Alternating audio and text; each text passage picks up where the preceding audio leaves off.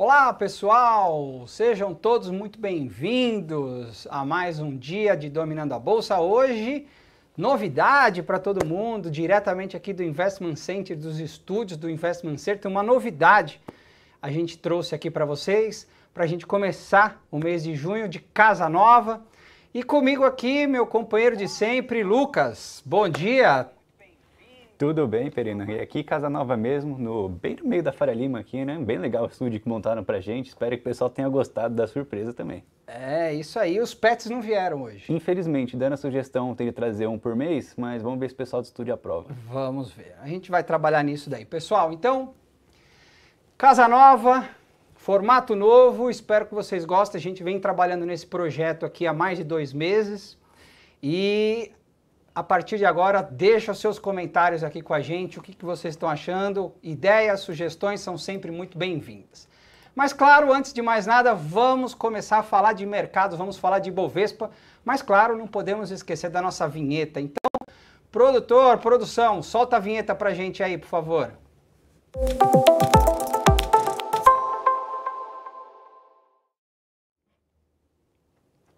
Bom, então vamos lá, vamos falar de Ibovespa, vamos falar de mercados. Ontem nós tivemos um dia de alta do Ibovespa, Ibovespa passando a região ali dos 111.700 pontos, mas parou no 112.700. O que, que isso impacta para gente? Não passou a máxima é, da, da semana. Se nós olharmos os principais índices, por exemplo, Small, on, small Caps, o índice, uh, o EWZ, que é um ETF americano que replica que o Ibovespa em dólar, também não passou a máxima e isso trouxe ali uma certa preocupaçãozinha no sentido de a última barreira para o mercado entrar em alta. Então esse é o detalhe que eu quero chamar a atenção de vocês para as próximas para os próximos pregões e, pra, e para as próximas semanas também. Então qual que é o ponto aqui que eu quero chamar? Se conseguir hoje fechar acima de 112,700, fechar na máxima, embora a gente já vai falar daqui a pouco, os futuros estão caindo um pouquinho, tem payroll, né, Lucas? Hoje tem payroll. Isso, toda sexta-feira. E então, se conseguir fechar na máxima, positivo. Se não, esse ponto vai ficar para a semana que vem, que aí eu diria que abriria caminho para uma alta, que pode buscar essa região aqui, ó, de 115.400, como eu estou marcando aqui, e 121.600 pontos, que nada mais é o topo registrado aqui no, no, na máxima de 2022. O que, que não pode acontecer no pregão de hoje e na semana que vem? Perdeu 110.300 pontos, porque aí sim abriria caminho para um movimento de realização onde o Ibovespa encontraria 108 e 300, 107 e 105 e 700, que nada mais é que essa mínima deixada, tá certo? Então, dito tudo isso, eu passo a bola agora para o Lucas, chamando agora o Na Mídia. O que está saindo na mídia? Solta a vinheta aí, amigão.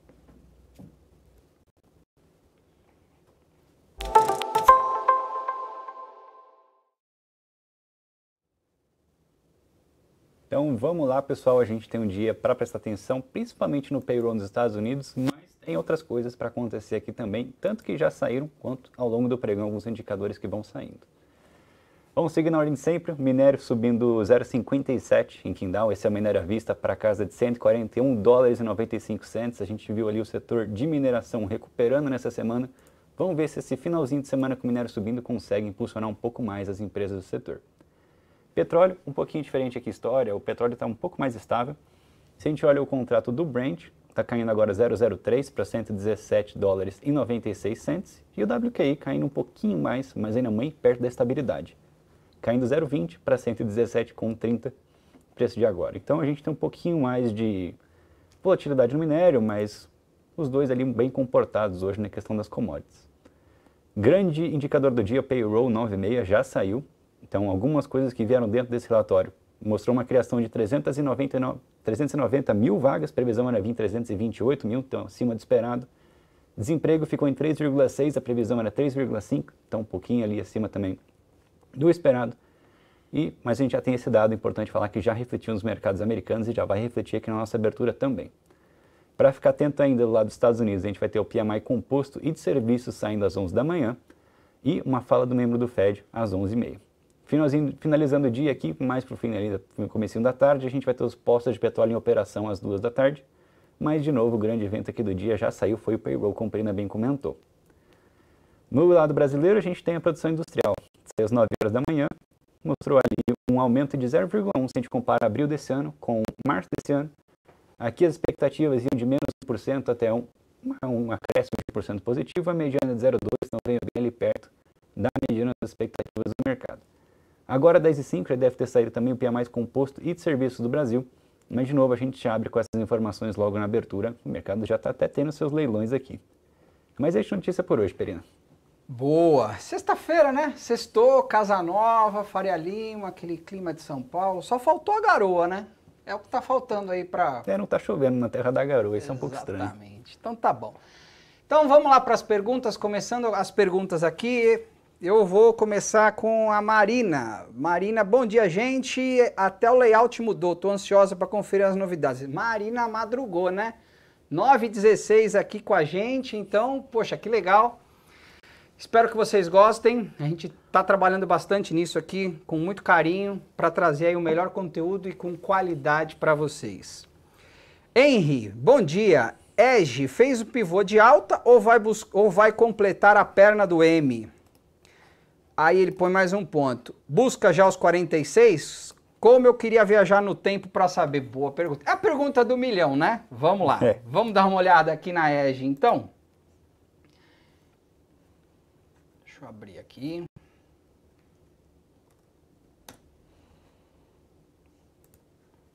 Bom, o que, que é importante aqui quando a gente fala da EGE, tá? É, a gente vê aqui ainda uma tendência de alta, embora essa realização que a gente está acompanhando aqui, deixa eu só pegar aqui uma coisa que o pessoal já está me colocando até como sugestão. Deixa eu aumentar a letra para todo mundo ver. Uma letra maiorzinha. Então vamos lá. E ela vem no movimento de alta e aqui essa realização ela passou um pouquinho da média móvel de 21. Não vejo ainda como um problema, não vejo ainda como uma perda da tendência de alta. Mas o curto prazo está um pouquinho parado, tá, Henry? Então o que, que a gente tem que olhar aqui?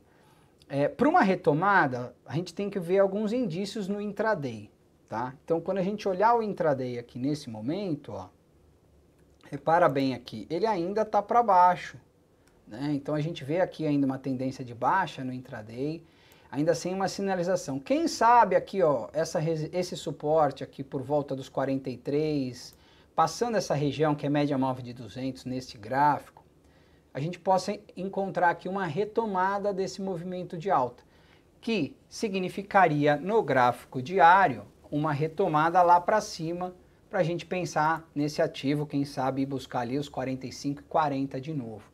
Tá? Então esse é o ponto principal que me chama a atenção para a EGE. Agora, pensando como carteira, pensando como momento de mercado que a gente vem, que vem acontecendo, eu vejo com bons olhos estar tá posicionado nesse ativo, até porque está acima da média móvel de 200, está caminhando ali para sua máxima histórica, olha, só para trazer aqui para um gráfico semanal, máxima histórica desse ativo.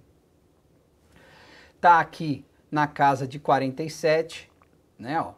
Então é para lá que esse ativo está indo, então numa visão mais de longo prazo é para lá que ele está indo. E o que não pode acontecer é perder os 40. Vou ficar na torcida aqui. Eu sei que você colocou aqui é, tá na expectativa de buscar os 46, mas precisa pelo menos dar um sinal de melhora no intraday, tá bom? Ronaldo, bom dia a todos. Márcio Adas, bom dia Perina e Lucas. Poderia, por gentileza, comentar a BDR do JP Morgan, JPMC 34? Será que essa pequena alta em maio é momentânea ou esse ativo pode sofrer um movimento altista no curto prazo?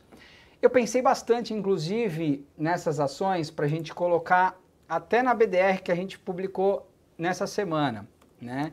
Por quê? Né? Sempre quando tem aumento de juros, cria-se essa expectativa de como vai comportar as empresas de bancos, né? principalmente lá nos Estados Unidos. Então, eu acho que é legal sim, é, e é super válido esse questionamento que você coloca, tá? Mas Vamos dar uma olhada, eu vou dividir aqui a análise lá nos Estados Unidos, do ativo JP Morgan lá nos Estados Unidos, e a gente vai olhar aqui a BDR para a gente entender como é que está o momento do ativo, tá?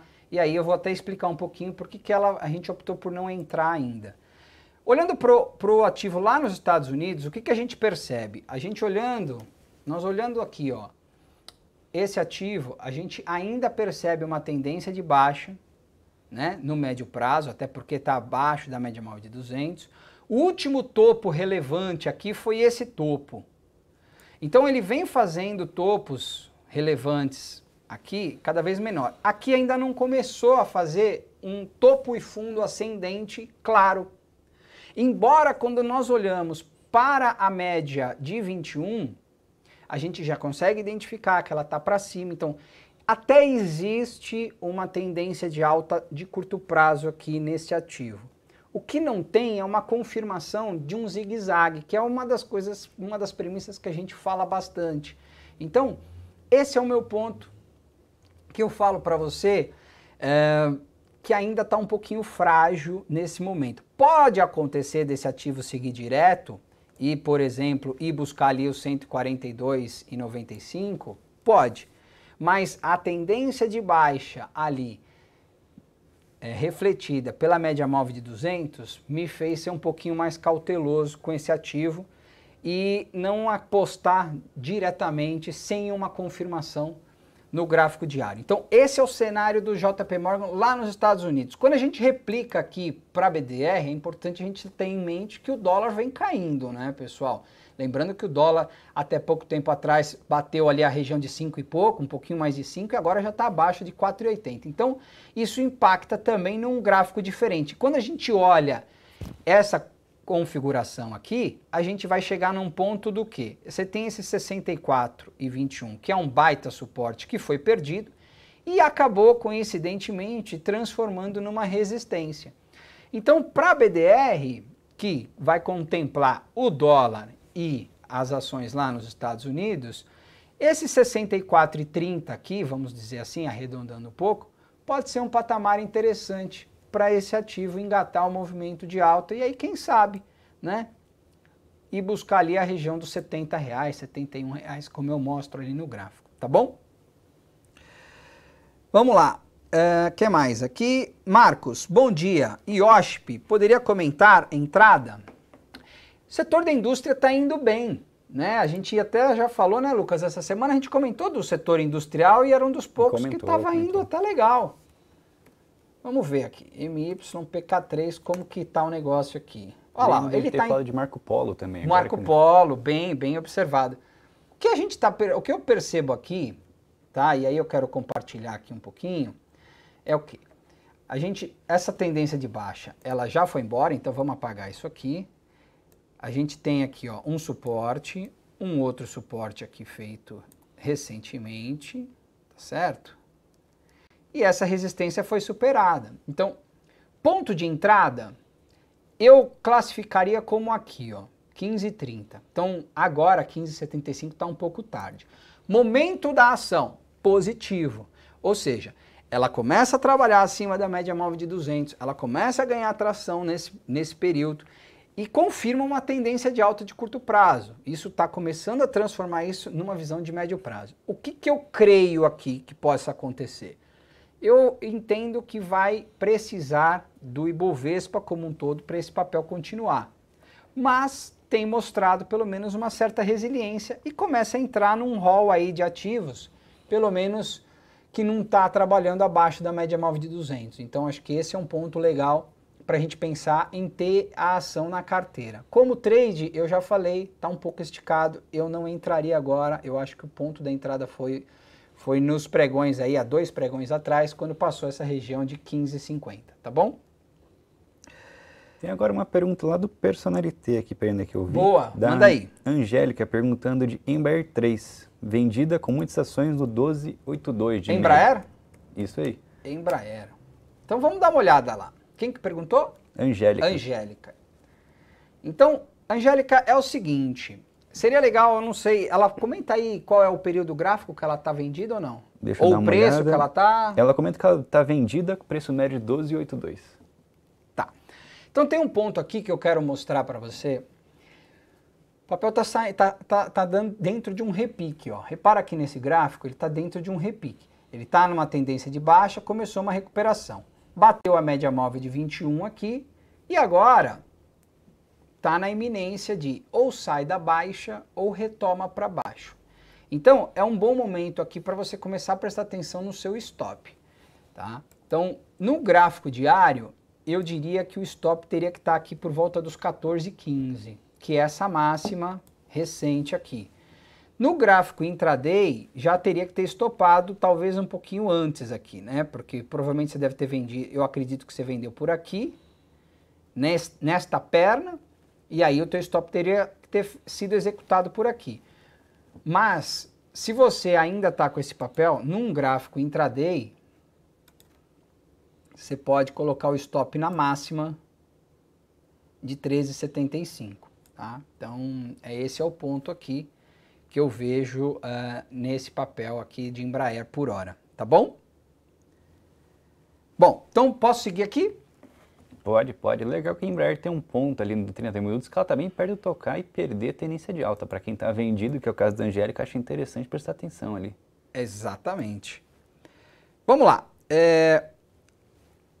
Pessoal aqui, é, a gente mudou o horário, agora a partir das 10 horas, o pessoal está colocando aqui. É, então, o, o, horário do Dominando a Bolsa vai ser a, a partir de hoje, das 10 da manhã ao meio-dia, tá? O pessoal falou que a gente sextou aqui, Lucas. Sextou de casa nova, pelo menos. Imagina, minha chefe briga comigo se eu sextar aqui e não vim aqui no, no Dominando a Bolsa. Meio-dia sim, né? Mas antes do meio-dia, depois talvez... Depois do meio-dia a gente vai sextar. Então vamos lá. Letícia manda um bom dia a todos. Edson, um bom dia. Renato, Suzano, cabe day trade se superar os 54 e 11? Renato gostou da, da estratégia ali da máxima, hein? Vamos ver.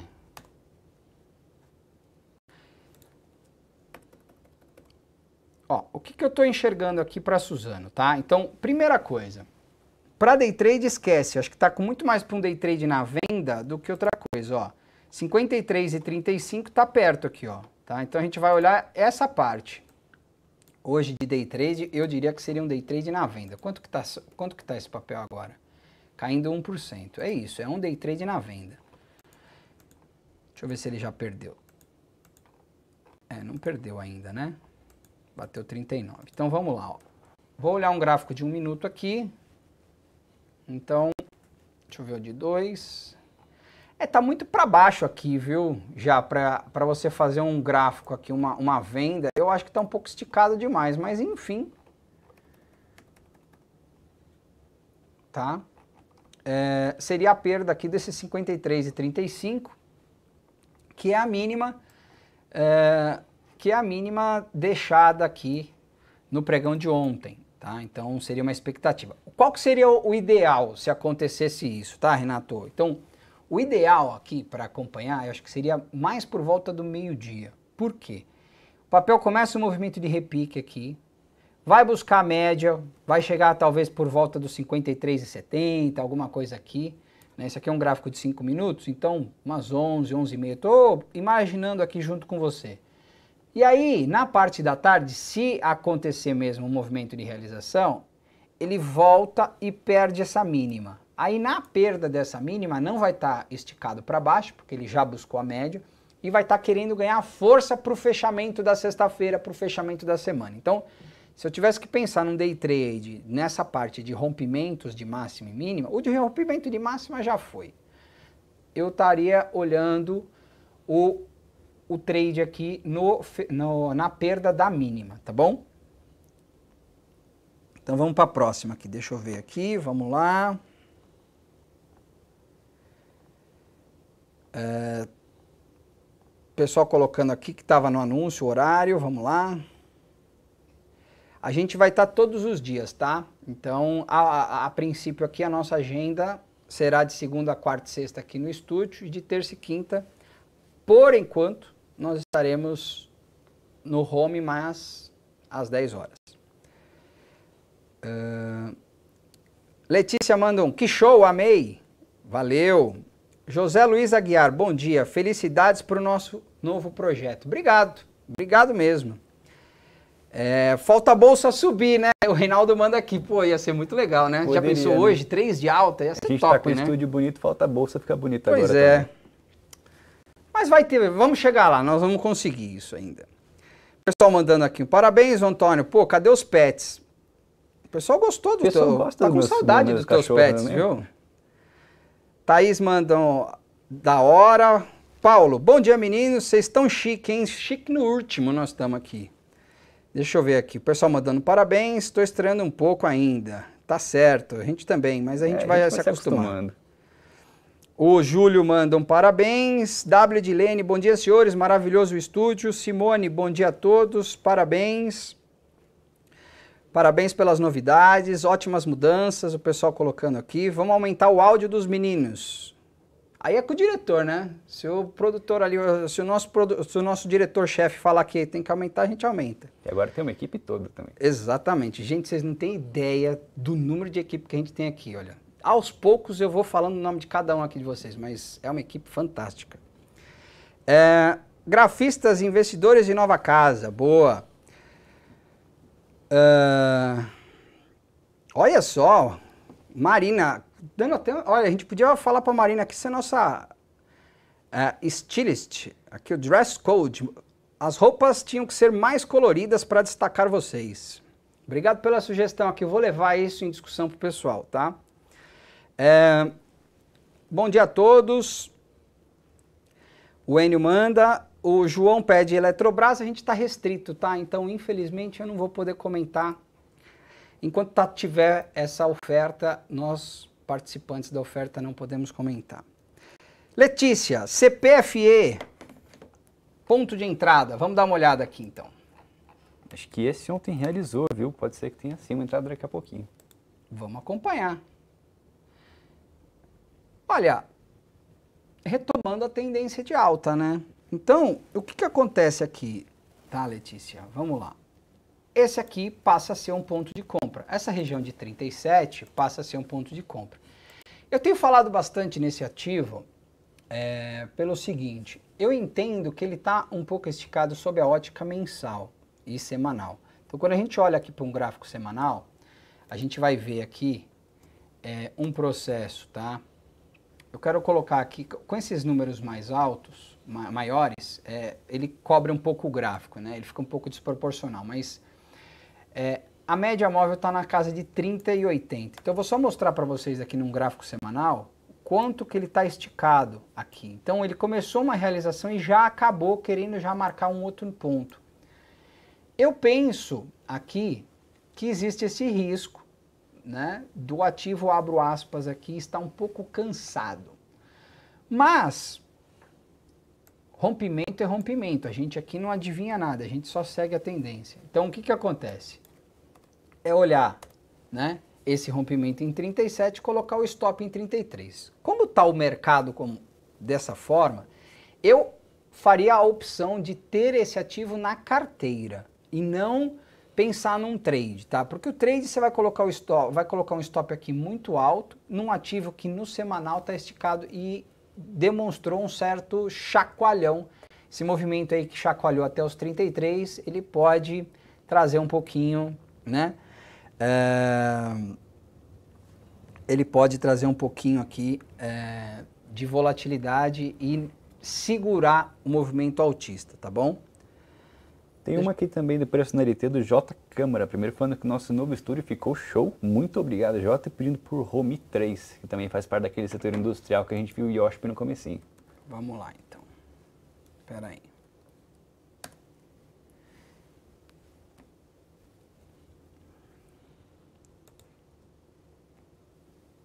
Deixa eu ver aqui. Foi na mosca essa, hein? Porque, para mim, neste momento, o home está dando ponto de compra. Ó. Então, por que, que, eu, por que, que eu vejo aqui um pouquinho diferente dos gráficos? O que, que home tem de diferente quando a gente olha aqui? Eu vou desenhar o gráfico e eu quero mostrar para vocês. Eu vou ali na tela para a gente ver. Eu quero mostrar essa parte aqui que eu achei bem interessante no caso de home, tá? Então, assim, ó.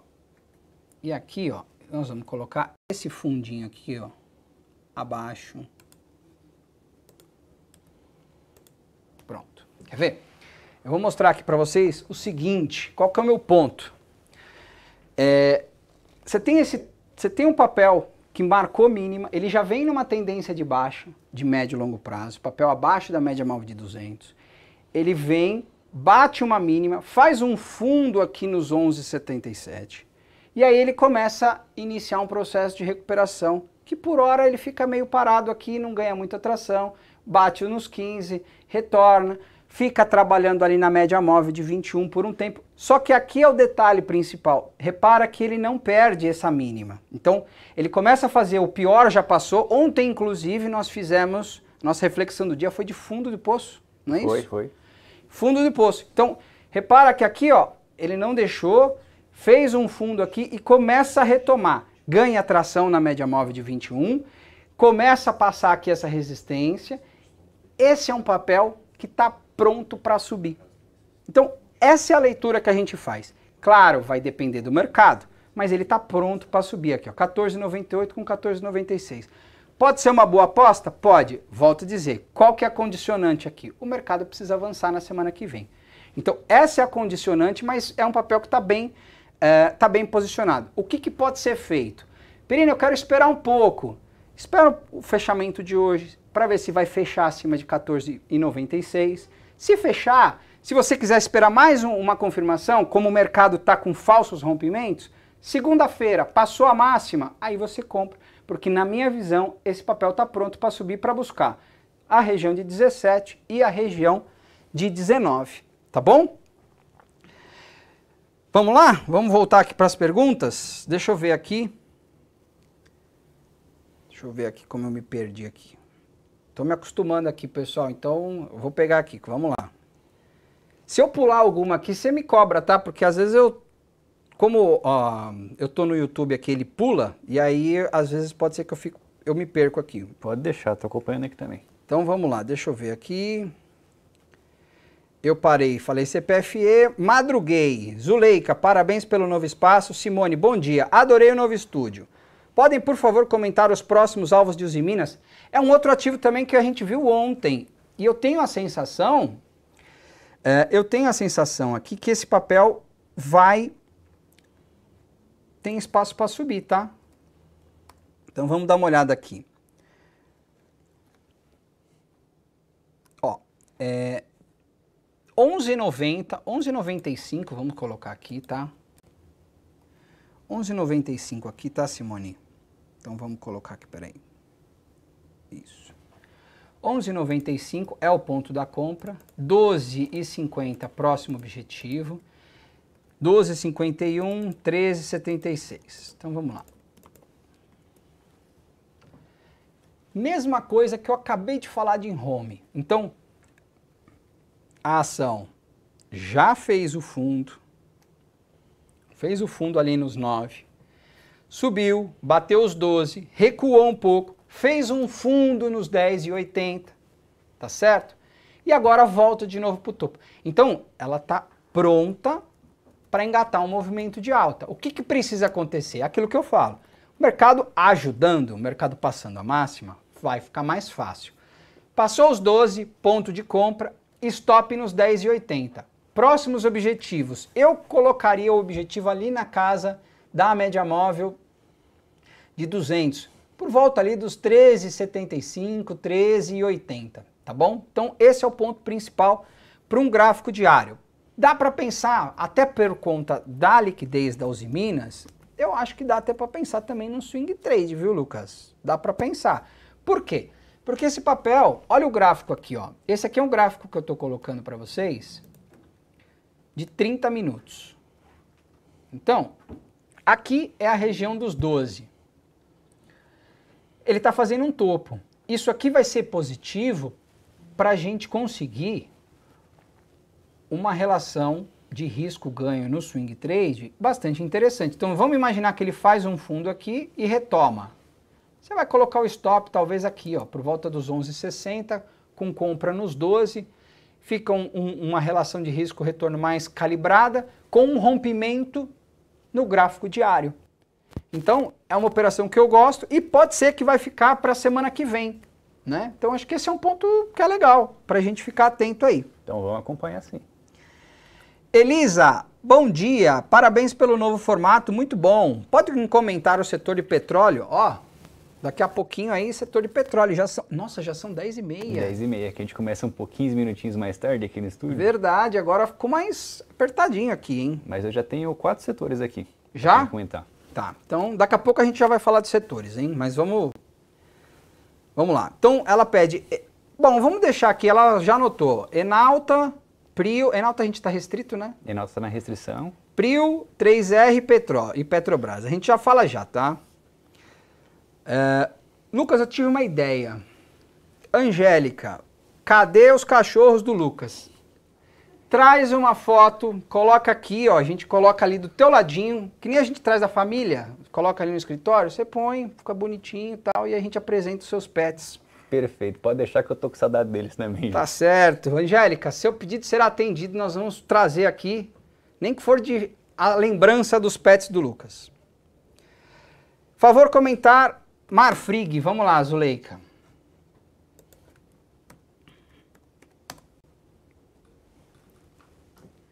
Bom, o que está acontecendo com o Marfrig? De todas de, do setor de proteína, que a gente comenta bastante, JBS, Minerva e Marfrig, essa é a única que está numa tendência de baixo, abaixo da média móvel de 200. Então, a gente vem discutindo aqui recentemente que a ação está passando por um processo aí um pouquinho delicado.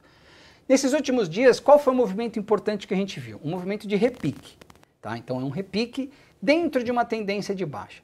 Os últimos pregões trouxe esse papel aqui para um pouco acima dessa resistência.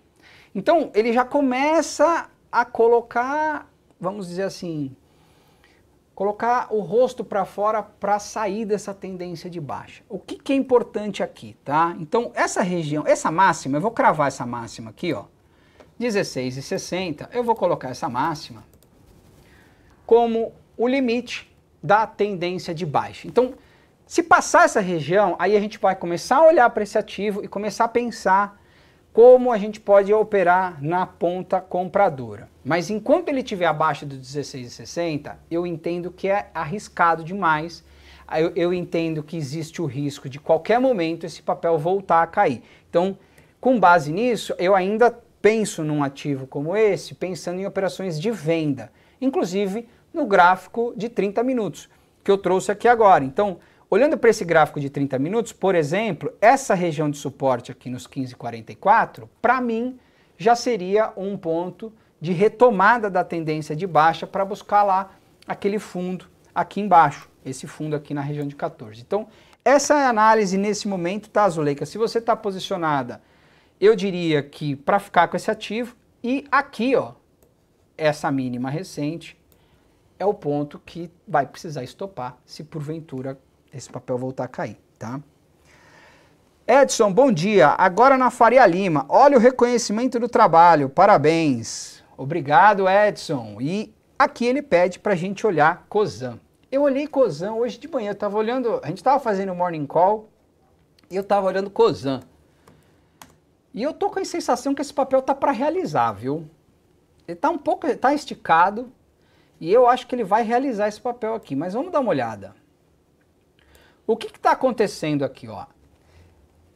A última, o último rompimento de resistência, é isso que eu, que eu gosto muito de ver. O último rompimento de resistência, ele foi aqui, ó, nos 19,50, 19,45. De lá para cá, o papel subiu que nem um foguete. Bateu aquela região ali de 22,45, deixou um candle ontem ali meio que um doji, que traz uma certa dúvida, né? Que é, é essa é a leitura do doji que pode começar um movimento de realização. Então, o que, que acontece aqui? Quando a gente olhar esse gráfico, tá? eu entendo que a perda deste movimento aqui, ó, pode gerar um movimento de realização de lucros. Então, é um movimento contra a tendência, porque a tendência desse ativo é de alta, mas como ele esticou demais, eu, eu penso que existe aí um, uma possibilidade. O que, que a gente tem que ficar atento? 21 e 30. Então é a mesma coisa que a gente sempre fala aqui. vai bater aqui essa região de 21,30, vai procurar um topo um pouquinho em cima e é assim que vai acontecer. É assim que a gente vê. Qual que é a expectativa? Para ele vir buscar pelo menos essa região de 19,50 ou quem sabe 20, alguma coisa. Mas aí é aquele swing trade rápido para a gente tentar buscar aí pelo menos 2,5%, 3% logo em um ou dois pregões. E se houver uma realização mais intensa, a gente busca a segunda perna de queda, tá certo? Lucas, vou fazer mais uma. Tem uma, alguma do Personalité aí? Tem uma sugestão aqui então, tem uma pergunta da Luísa, primeiro falando que o nosso novo visual ficou lindo, então o pessoal gostando bastante do novo estúdio. E o meu topete eu tenho que tomar cuidado aqui. Porque... Eu também, porque venho de moto, pelo capacete, bagunço todo o cabelo e fica todo descabelado é. aqui para fazer o programa. Mas pedindo para comentar, MRV, tá pensando em comprar um pouco para fazer preço médio, tá com 50% de perda nesse papel. Tá. Quem pediu? Luísa. Luísa. Então nós vamos fazer o seguinte, nós vamos falar de MRV pra, juntamente com a Luísa e na sequência, você já está com os setores aí? Já, tudo anotado. Boa. Então vamos lá. Olha, Luísa, eu vou falar uma coisa. Eu preparei hoje, estreia aqui com a gente, eu preparei hoje uma reflexão do dia que eu quero falar sobre medo e prudência, tá? E, e, um dos itens que eu vou falar vai ser sobre preço médio. Então eu vou fazer esse convite para você, para você acompanhar a gente na nossa reflexão, tá? Mas eu quero que você pensa melhor se você vai comprar simplesmente para fazer preço médio, tá? Mas vamos lá. O que, que eu estou vendo aqui nesse ativo? Repara bem, isso é um, é um dos de umas sinalizações que o mercado me dá, que eu tenho discutido muito aqui com vocês, que é o quê? É, o mercado está seletivo. Nós falamos agora de algumas ações em tendência de alta e outras numa situação muito delicada, que está em tendência de baixa no médio prazo, ou seja, abaixo da média móvel de 200, tendência de baixa no curto prazo, abaixo da média móvel de 21. E a MRV, ela se enquadra neste caso. Então, eu vejo uma situação delicada para a MRV e eu não vejo motivos para fazer preço médio. O único motivo para você fazer preço médio nesse momento é para baixar o preço. Porque eu não vejo a expectativa desse ativo subir agora. Pode ser que suba na segunda-feira? Pode, mas quando eu olho para a análise gráfica, quando eu olho para os indicadores, quando eu, eu, eu tomo como base os pré-requisitos que faz a gente aqui criar uma análise, eu não vejo que esse papel está para subir. Muito pelo contrário, eu vejo que ele está é, com, na iminência de mais quedas. Tá? Então, o que, que você tem que colocar aqui? Eu sei que 50% machuca e que talvez você pudesse reduzir ali o seu preço médio, mas você vai reduzir o preço médio, você não vai reduzir o seu prejuízo. É isso que é importante a gente ter em mente. Tá? Então, assim, a perda desses 9,14 pode fazer esse papel cair mais. Tá? Próximo suporte é a mínima lá do Covid, 8,55. Então, por hora, é essa a análise que eu faço de MRV e eu não falaria para você comprar.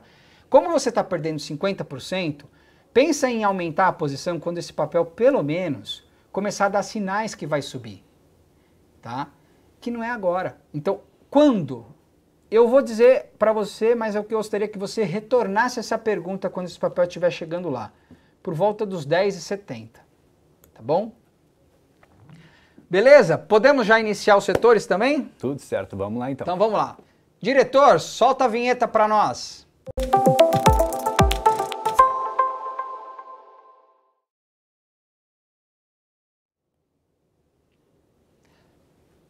Então, Começamos com qual? Setor que não podia faltar, na verdade, que tem aparecido quase todo dia aqui para a gente comentar, que é o setor de consumo. Imagino por conta de Magalu, Via Varejo, esses ativos. Verdade. E tem um ponto que eu até eu estava vendo, que eu acho que pode ser, é aí que está o negócio, né? Não é muito a nossa praia aqui, eu vou, vou abrindo aqui e vou falando, tá? Não é muito a nossa praia, a gente usa análise gráfica, mas a gente também entende, que é o que eu sempre falo para vocês, a gente aqui também entende quais são os drivers né, que acompanham os mercados. Né? E tem essa questão agora né, de retomada da economia, né, ou pelo menos o PIB saiu ontem, está começando a revisar PIB, PIB para cima aí em 2022. Então pode vir do investidor aquela pergunta: será que não é a hora do setor de consumo? Eu fiz aqui Americanas, Via e Magazine Luiza. O que mais que a gente pode falar? Eu acho que não dá para tirar também Natura desse, desse grupo. Lojas Renner? Lojas Renner também, que a, a gente, falou, falou ontem, ontem. Importante falar. E uma sugestão ali, esse mais opcional, mas Arezo, que acho que está mais diferente do resto do setor. Tá bom. E por mim é isso, já está no bom tamanho. Então essa pergunta que eu acabei de falar, né, será que não é hora de consumo? Essa pergunta a gente vai responder ela no gráfico. O mercado vai dizer para gente, tá? Vamos lá. Então, partir do momento que o mercado entender que essas ações são vão, vão ser o momento delas, elas vão começar a ter um movimento de melhora, vão começar a entrar em tendência de alta, vão começar a criar um clima de otimismo nesse sentido, só que numa tendência robusta, tá? Então esse é o ponto que eu quero chamar a atenção. Ou começando com Magazine Luiza. O que, que a gente está vendo aqui em Magazine Luiza? O contrário. Uma retomada para baixo, papel batendo a mínima ali, ó, e eu digo mais. Se perder os 3,58 é ponto de venda para a Magazine Luiza com o primeiro objetivo ali na casa de 3,15. Ou seja, é um cenário extremamente desafiador, é um cenário onde o mercado, na minha opinião, que é o que eu estou vendo aqui, está muito desconfortável e enxergando com certos olhos meio que descrente. Por isso essa tendência de baixa. Então, essa é a leitura, não vejo sinais de melhora enquanto não passar esses 4,70. Né? Inclusive ontem nós falamos isso, né? É, é, sobre questão de fundo do poço, às vezes você tem que demorar 20, 30% para entender que a ação começa a melhorar. Mas é isso que está acontecendo com o Magazine Luiza. Né? Via varejo, essa está um pouquinho diferente mas tem que passar os 3,39. Então, por que, que eu estou falando isso? Eu vou colocar aqui para vocês, vou aumentar um pouquinho, ó. Ação vem numa tendência de baixa. Posso dizer que nessa, nesse movimento aqui, ela saiu da baixa. Tá? Ela saiu da baixa. Só que, uma coisa é sair da baixa, a outra é entrar em alta. Aqui, ó, Aqui sim seria um ponto de entrada para Via Varejo. Então, entre Magazine Luiza e Via Varejo, eu estou muito mais com olhar em Via Varejo, se passar os 3,40. Americanas. Americanas é o contrário. Infelizmente, o papel perdeu a mínima, perdeu a região de 20, é como que se Magazine Luiza tivesse perdido ali os 3,57 e tem espaço para cair mais. Então, por hora, está livre para cair e o próximo objetivo é em 15. Então, o setor do e-commerce está extremamente aí delicado, né? mais puxando para baixo do que puxando para cima. Natura, a mesma coisa, a gente vem falando nisso. Hoje, apesar de estar tá subindo um pouquinho ali, não passou os 18,25, então por hora nada se fazer, tendência de baixa. Lojas Renner, a gente até comentou ontem, né, Lucas? Mas repara, esse foi um movimento rápido, Intraday. Hoje o papel já começa a realizar, está devolvendo quase que tudo. Então quem fez o, o, o, swing trade que a gente falou ali na live já deve ter saído, pelo menos ou trazer, deve ter pelo menos empatado, né, subido o stop ali pro pro 0 a 0 e feito ali pelo menos uma parcial de gain, porque com o mercado realizando hoje, esse papel está sofrendo um pouquinho. Mas é um papel que está iniciando o um movimento altista. E tem até um segundo fator em loja Zener que está é, tá bem perto da média móvel de 200. A hora que passou 27,05 tinha um espacinho ali só para andar antes de tocar naquela região. E foi bem lá hoje que ela abriu. Exato. Foi bem lá, né? Bem observado. Bem observado. E Arezo, como você já comentou, é um papel que está com uma característica um pouco diferente. Tá? É, o que, que acontece com Arezo? É uma ação que vinha numa trajetória de baixa e agora começa a engatar um movimento altista de médio prazo. Qual é o ponto da compra aqui em Arezo, na minha visão? Tá? Essa região aqui. Ó. Passando essa região, o papel sai da tendência de baixa, retoma a trajetória altista de curto prazo e volta a trabalhar acima da média móvel de 200. Então, Arezo, esse é o ponto. Perdeu 77, aí é complicado. Próximo. Próximo setor, então, setor agro. SLC. Nós vamos falar de São Martinho também. Acho uma boa também passou uma resistência ali. Vamos ver como é que fica. Vamos ver. São Martinho, SLC. Tá bom, né? Vamos falar dessas três hoje. É, tá bom. Agro. está na iminência de entrar em alta. Qual que é o ponto aqui que eu acho que até pode dar um ponto de compra no diário ou no intraday? Tá mais um intraday isso aqui, tá? Que é o quê? Essa região aqui, ó, ó. Essa máxima. Então, passando essa máxima aqui, ó, tá certo? Passando essa máxima, a gente vai ver esse papel retomando a trajetória altista em busca dos 35,10, que é o topo. Então aqui vai ter alguma estratégia de swing trade, eu creio, ó, nesse rompimento, por volta de 33. Vamos imaginar que recupera a partir de agora, o stop fica aqui embaixo, 32,20. São Martinho, firme e forte, máxima histórica, tá indo muito bem, obrigado. Deu ponto de compra recentemente 45, tá um pouquinho 45 não, 50 reais, tá um pouquinho atrasado, tá um pouquinho afastado, ou seja, entrar agora tá um pouco atrasado e tá um pouco esticado. Então, esse é o meu ponto que eu quero chamar aqui nesse caso. Quem está posicionado, quer trabalhar com stop mais curto, gráfico de 30 minutos. E 51 e 35 é o ponto mais importante ali é, que poderia iniciar um movimento de realização de lucros, tá? SLC, a gente tem na carteira, bateu máxima histórica ontem, está firme e forte. Se voltar a subir, passar a máxima de sexta, desculpa, passar a máxima de quinta, vai dar um novo ponto de compra. Até para quem está fora, ainda vale a pena entrar, até porque o papel passou recentemente esse 56,90. Beleza? E aí, Lucas, que mais? Então vamos lá. Outro setor que tem até me chamado a atenção, pedindo aqui o setor de petróleo. Justo, que é Petrobras, eu me lembro da pergunta. 3R. Isso dá para falar dele todo, Petro, Prio, Recôncavo. E a Petro Só não esqueci quem não tá, restrito. Sim. Boa. Então vamos lá. Vamos dar uma olhada no Brent também, porque eu estou curioso aqui no Brent.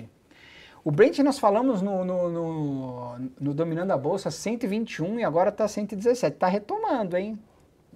O petróleo está retomando. Vamos dar uma pois olhada é. aqui. Começando com o Brent.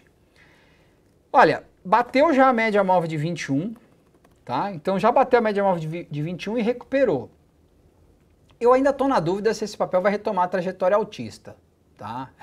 Retomar a trajetória assim, para buscar o topo, para buscar o 123, para buscar o 137. Ainda estou um pouquinho nessa dúvida. O intraday ainda não me mostra de uma maneira muito clara. Ó, repara que esse é o gráfico de 60, né? Teria que passar o 118,70 aqui. Então, mas o viés é positivo, a gente falou bastante disso. Nesse momento, as, as empresas de petróleo estão passando um processo de realização de lucros. Petro Recôncavo é essa, não fez fundo ainda, então tem que esperar quem está posicionado, não adianta, faz parte, tá? Stop aqui nos 25,50 não tem muito o que fazer, tá bom? Uh, PetroRio. PetroRio, eu vou falar uma coisa aqui, pessoal. Deixa eu só dar uma olhada na questão de volume, se tem alguma divergência. Tem uma divergência sim, que é positivo. Eu vejo um ponto de compra em PetroRio acima de 29,70, ou seja, passando a máxima histórica, vai dar um novo ponto de compra. E eu acredito que esse vai ser um belo ponto de compra para a PetroRio. Por quê? Ela está há bastante tempo ali parada né, nessa região, dentro de uma congestão. Então, quando acontece isso, é, podemos ser otimistas e esperar um movimento mais acentuado. Por quê? Porque ele ficou muito congestionada por um bom tempo. Tudo isso é uma expectativa. Então eu ficaria de olho em 29,70 ali se passar. 3R é a mesma coisa, ó. bateu a máxima e começou uma realização. Só que é um papel que já estava esticado. Então o que, que acontece a partir de agora? É esperar esse ativo realizar, bater ali na média móvel de 21, por exemplo, e a retomada do movimento altista passando a máxima histórica. Seria uma nova oportunidade e um bom ponto de compra também. Mas das duas que eu falo, eu estou gostando desse gráfico da PetroRio, confesso para vocês. E Petrobras perdeu a tendência de alta de curto prazo, mas está num processo de realização, como eu mostrei de Petro Recôncavo, como eu mostrei de PetroRio, como eu mostrei de, de 3R. O viés de médio prazo continua intacto, ainda vejo como boa opção para ter em carteira, mas o curto prazo deu uma arrefecida. que é normal dentro de um papel que já vem há muito tempo trabalhando em tendência de alta, tá? Então, por hora é isso que eu vejo em Petrobras. Uma retomada talvez da trajetória altista ali, tem que passar esses 30 e 65, antes disso não tem muito que ser feito, tá bom? Tem mais algum? Então, legal. Tem um setor para fechar aqui que é o setor de bancos. Então vamos lá, bancos. Bancos é um setor interessante que está puxando o Ibovespa, né? Uhum. Especialmente essa A gente começou a ver, é importante a gente passar isso para quem está assistindo a gente. A gente tem visto recentemente commodities, principalmente as metálicas, juntamente ali com papel e celulose subindo.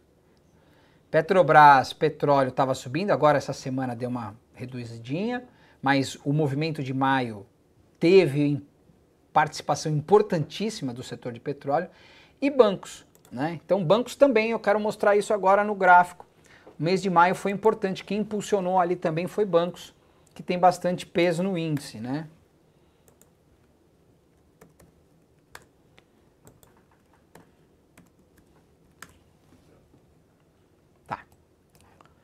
Então vamos lá. Começando com BPAC. Na minha visão está travado 25,50 com 23,60, nada a ser feito. Agora, passando esses 25,60, aí 25,50, desculpa, aí sim é ponto de compra, inclusive no diário. Ele deu uma, um falso rompimento aqui, né? Ele deu um falso rompimento e voltou aqui de novo. Não pode perder os 23,60. Então, tem que ter esses dois pontos na cabeça. Passou 25,50 é compra, perdeu os 23,60 é venda. Santander. Santander estava bonito no gráfico, ó, rompeu aqui os 34, deixou uma máxima. E o movimento de ontem me preocupa um pouco, tá? Me preocupa um pouco no sentido de perder o suporte aqui ó, nessa região de 32,40, tá? E hoje está continuando. Então isso não é uma sinalização legal para um ativo que tem, né, juntamente ali, que, que faz parte do grupo de ações no setor, né, que tem um peso interessante no índice. Bradesco, repara aqui, ó, subiu forte, está num processo de realização de lucros, caminhando aqui para a média móvel de 21. Talvez possa já até ter chegado ao fim essa realização, mas ainda passa por esse processo. Quem está posicionado 19 e 20, mas compra mesmo para Bradesco, eu vejo só acima desses 20,95. Antes disso, nada a ser feito, tá? Nada a ser feito por hora em Bradesco. E Banco do Brasil, Banco do Brasil, um papel que estava já tinha superado uma região de resistência importante, que é essa daqui, ó, que eu quero mostrar para vocês, tinha já passado esses 36,50 marcou máximo em 38 e começou aos poucos a realizar. Esse, esse movimento de realização ele está muito em linha com o mercado. Por quê? Porque o mercado não avançou, o mercado a gente falou logo na abertura, bateu a resistência, está trabalhando ali, o mercado está trabalhando nos limites da região de resistência. Então, o que, que a gente tem que ver aqui? É um setor que está indo bem, Bradesco está indo bem, Banco do Brasil está indo bem, BPAC também está indo bem, Santander deu uma, uma pequena deslizada ali, entrando até em tendência de baixa. Mas esses nomes aqui que eu comentei, excluindo o Santander, é, eles estão numa trajetória de alta, de curto prazo, ou se não estão no curto prazo, pelo menos estão ali na região da média móvel de 200, então está bem diferente de outros setores, como a gente falou agora há pouco de MRV, como a gente falou agora há pouco de Magazine Luiza, Americanas. Então esses papéis realmente estão mais numa situação mais crítica do que o setor bancário. E aí? Foi bastante coisa. Foi, né? hein? Mas por hoje é isso dos setores. Eu não vi o pessoal mandando mais algum além de bancos. Uhum. Então dá para seguir. Então tá bom. É, o que, que a gente tem de pergunta aqui que eu tô. Eu, eu, eu, eu sem querer aqui, eu perdi a minha, a minha pergunta aqui. O que, que a gente tem de pergunta aí? Joga para mim aqui. A gente parou no Encozan do Edson Franco às 10h10. Tá. Qual que é a próxima aí? Próxima vem do Guilmar, perguntando de Honey 3, BPAC e Vale. Então vamos lá.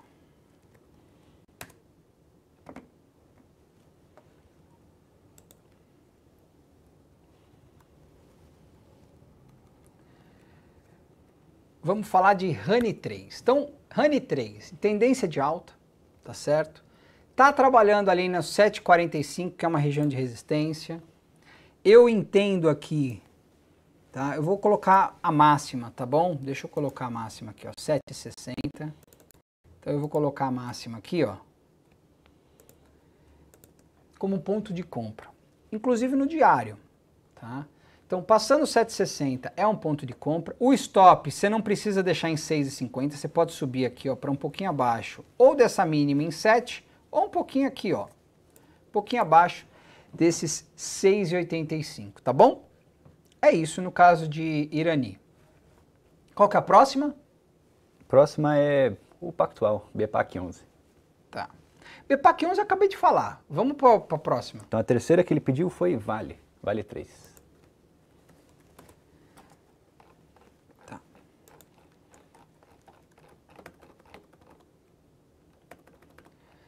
Deixa eu dar uma limpada aqui na Vale.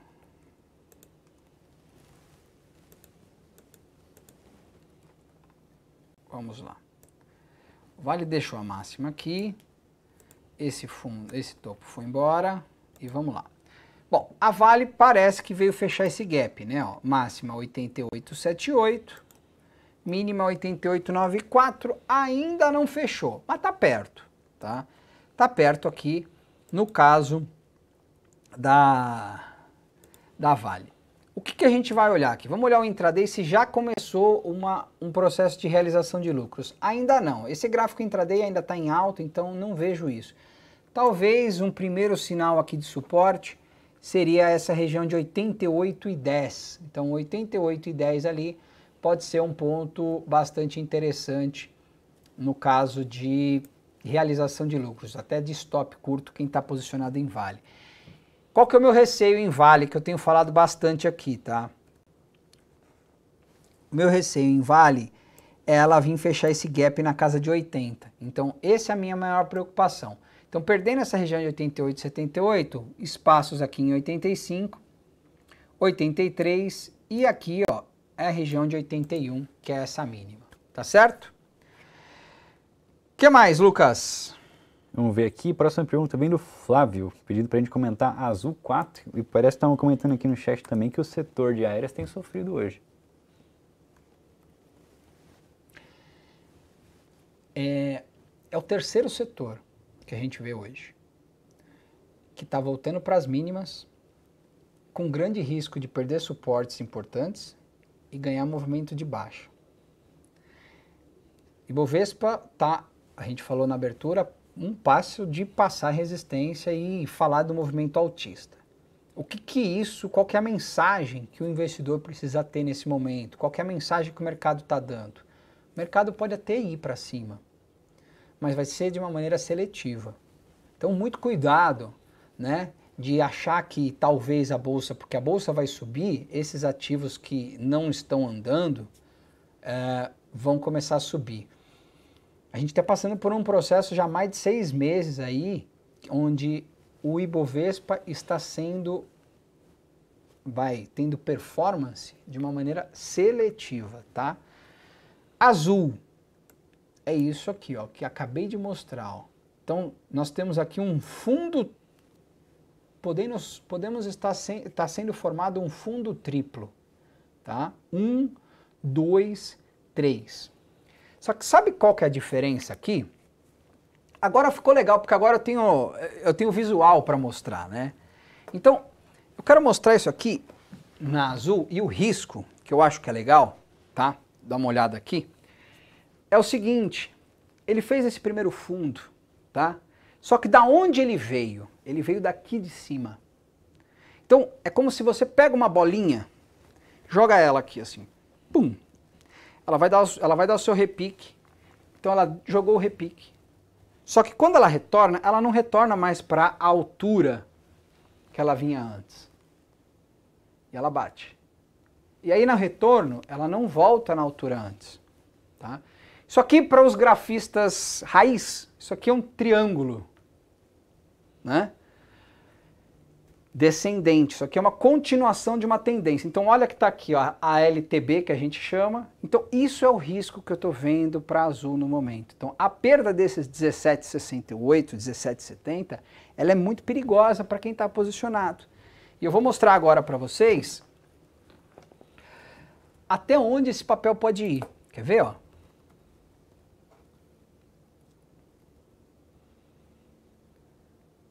Então, próximo suporte aqui, quando a gente olha em suporte importante e relevante, essa região de 11 reais. Tá? Então, esse é um ponto importante e de risco para essa ação nesse momento. Tá bom? Beleza? Mais alguma coisa aí? Beleza, legal. Então vamos lá. Vamos ver aqui, próxima pergunta. Pessoal aqui, Felipe, falando bem o novo formato. Então, agradeço, agradeço que, Felipe, a gente trabalhou bastante para conseguir fazer nesse novo formato, só a gente sabe que o pessoal Exatamente. como foi difícil. Mas que bom que vocês estão gostando. É, a Odilene aqui, olhando bem, achei essa bancada e cadeira do Perina desconfortáveis para ficar por duas horas sem apoio nas costas. A gente vai fazer esse teste agora também. É, verdade, hein? Bom, bem observado, bem observado. O Raimundo aqui mandando um bom dia pra gente, pedindo pra gente ver Eletrobras. Eletrobras a gente tá restrito. É. Raimundo, se tiver algum outro papel, manda aqui pra gente, mas esse a gente não pode falar. É, deixa eu ver aqui várias perguntas, né? O pessoal parece que gostou do novo formato mesmo. Boa! E o Tomás pedindo para comentar Petro 4. A gente já falou do setor, mas. Falamos, falamos de Petro. É. Vamos para a próxima. Então, aí o Jota pediu, mandou uma, uma pergunta mais cedo de Romi. Tá pedindo por SLC e o Home de novo, mas no semanal agora. Tá, eu vou falar de home no semanal, mas SLC a gente acabou de falar no setor agro, tá? Então vamos lá, home.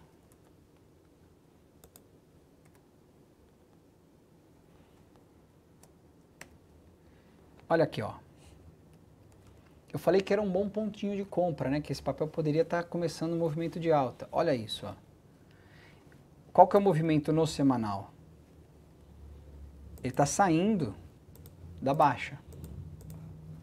Está saindo da baixa, começa a trabalhar acima da média móvel de 21 no semanal, que quando a gente transfere isso para um gráfico diário, já é uma tendência de alta. Ainda o detalhe aqui, né, que você, se você quiser ser um pouquinho mais cauteloso, qual que é o detalhe?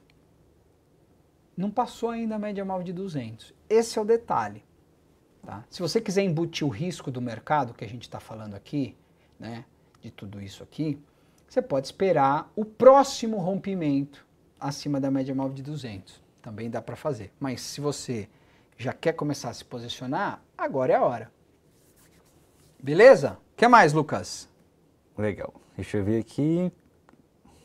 É que tem muita coisa chegando mesmo falando do estúdio, hein, pessoal? Então vamos lá. Manda pra gente aí sugestões de temas, Reflexões do dia. Tem uma pergunta aqui do Renato. Essa é interessante, ó, porque tem até em relação com o tema que a gente vai fazer a reflexão hoje, que ele está com prejuízo em cash 3, falando de um fundo histórico. De novo, aquele, aquele que a gente falou ontem, essa semana aí do fundo do poço, né? Uhum. E falando tanto de cash 3 sobre esse fundo, e pedindo para a gente comentar também um fundo lá da Petrobras, que ele está comentando em 2016, que também foi o fundo do posto para a Petrobras na época. Então, dois ativos aqui, mas com uma carinha um pouco diferente para olhar o, tá. onde foi o piso que elas bateram. Bom, a Cash, é, eu estou dando uma olhada aqui, voltou tudo, né, gente? Impressionante. Cash subiu como um foguete, está caindo como um meteoro, né? Então, assim, bateu mínima em 1,50, chegou a subir, foi para 12 e agora está de novo apontando para perder essa mínima. Qual é a sinalização neste momento aqui de cash? Olhando o gráfico diário, a gente vê aqui um movimento de repique, tenta sair da baixa, não consegue, bate aqui, retorna, perdeu esse 1,80, retoma para baixo para buscar essa mínima em 1,56. Última esperança minha opinião, é a mínima em 1,50. Se perder, é mínima histórica. E aí, pessoal, a gente já discutiu aqui bastante, bastante é, muitas vezes o que, que acontece com um ativo quando ele perde a, a mínima histórica. Né? Então, ele abre um espaço para buscar aí mais quedas. Então esse é o cuidado, tá? Por isso que fazer preço médio em papel que está caindo, você precisa entender se em, ele dá alguma sinalização de voltar a subir. Né? Fazer com, só porque está caindo, só para reduzir o preço médio, não pode, pode ser que não seja uma boa estratégia. Qual era o outro? Outro era um fundo que ele comentou da Petrobras em 2016, quando bateu 3, 4 reais, pelo que ele está dizendo aqui.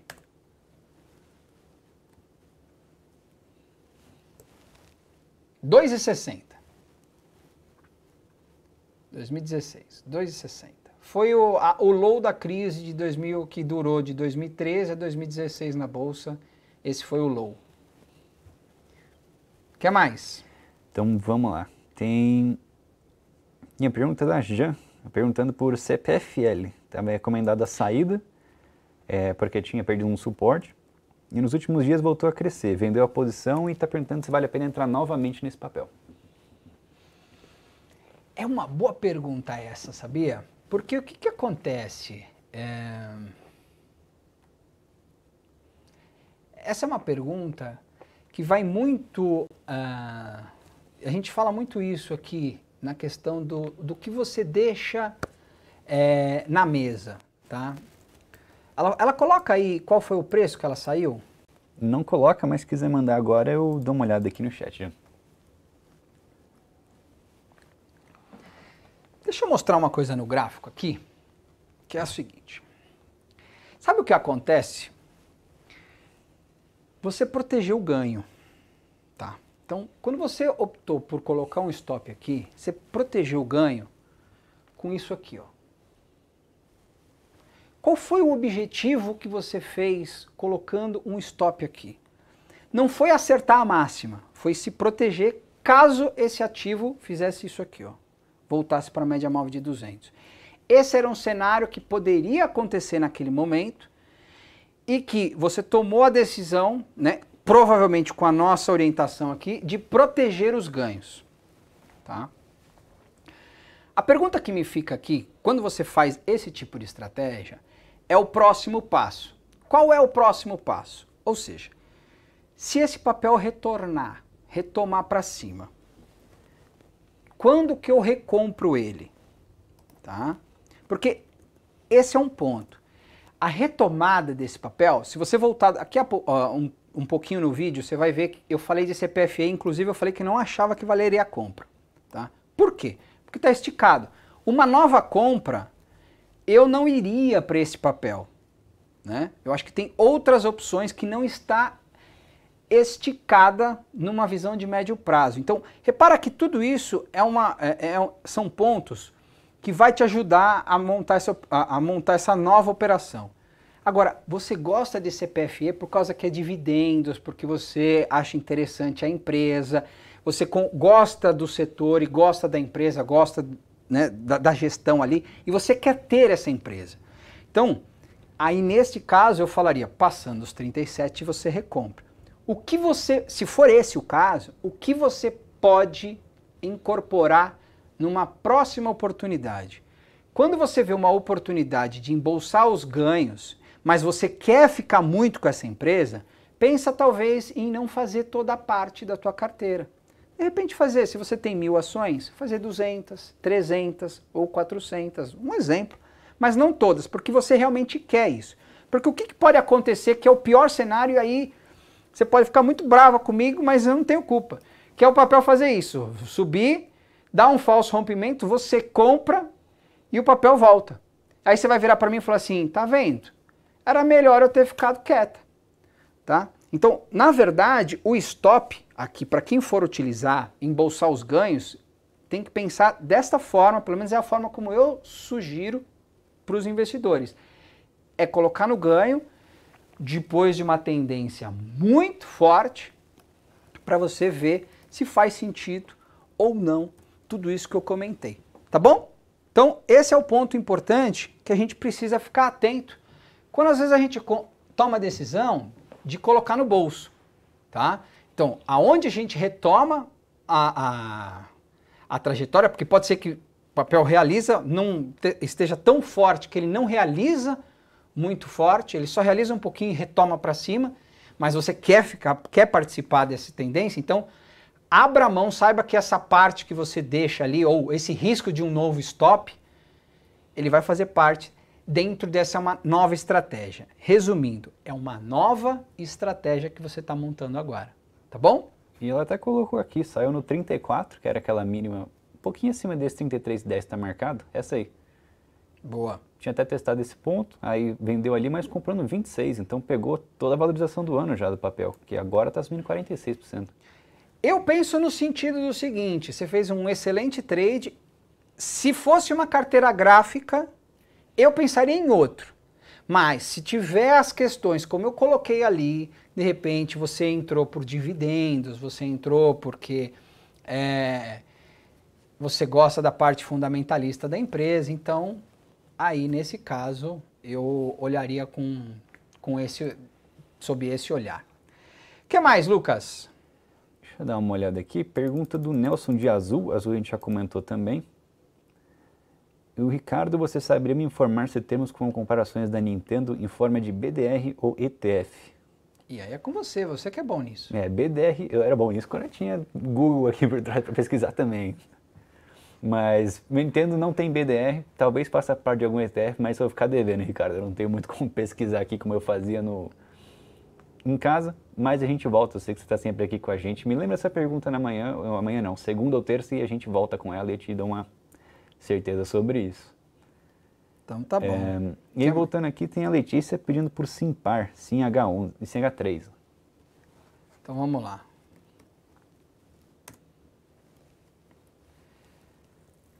Então, olha só que interessante.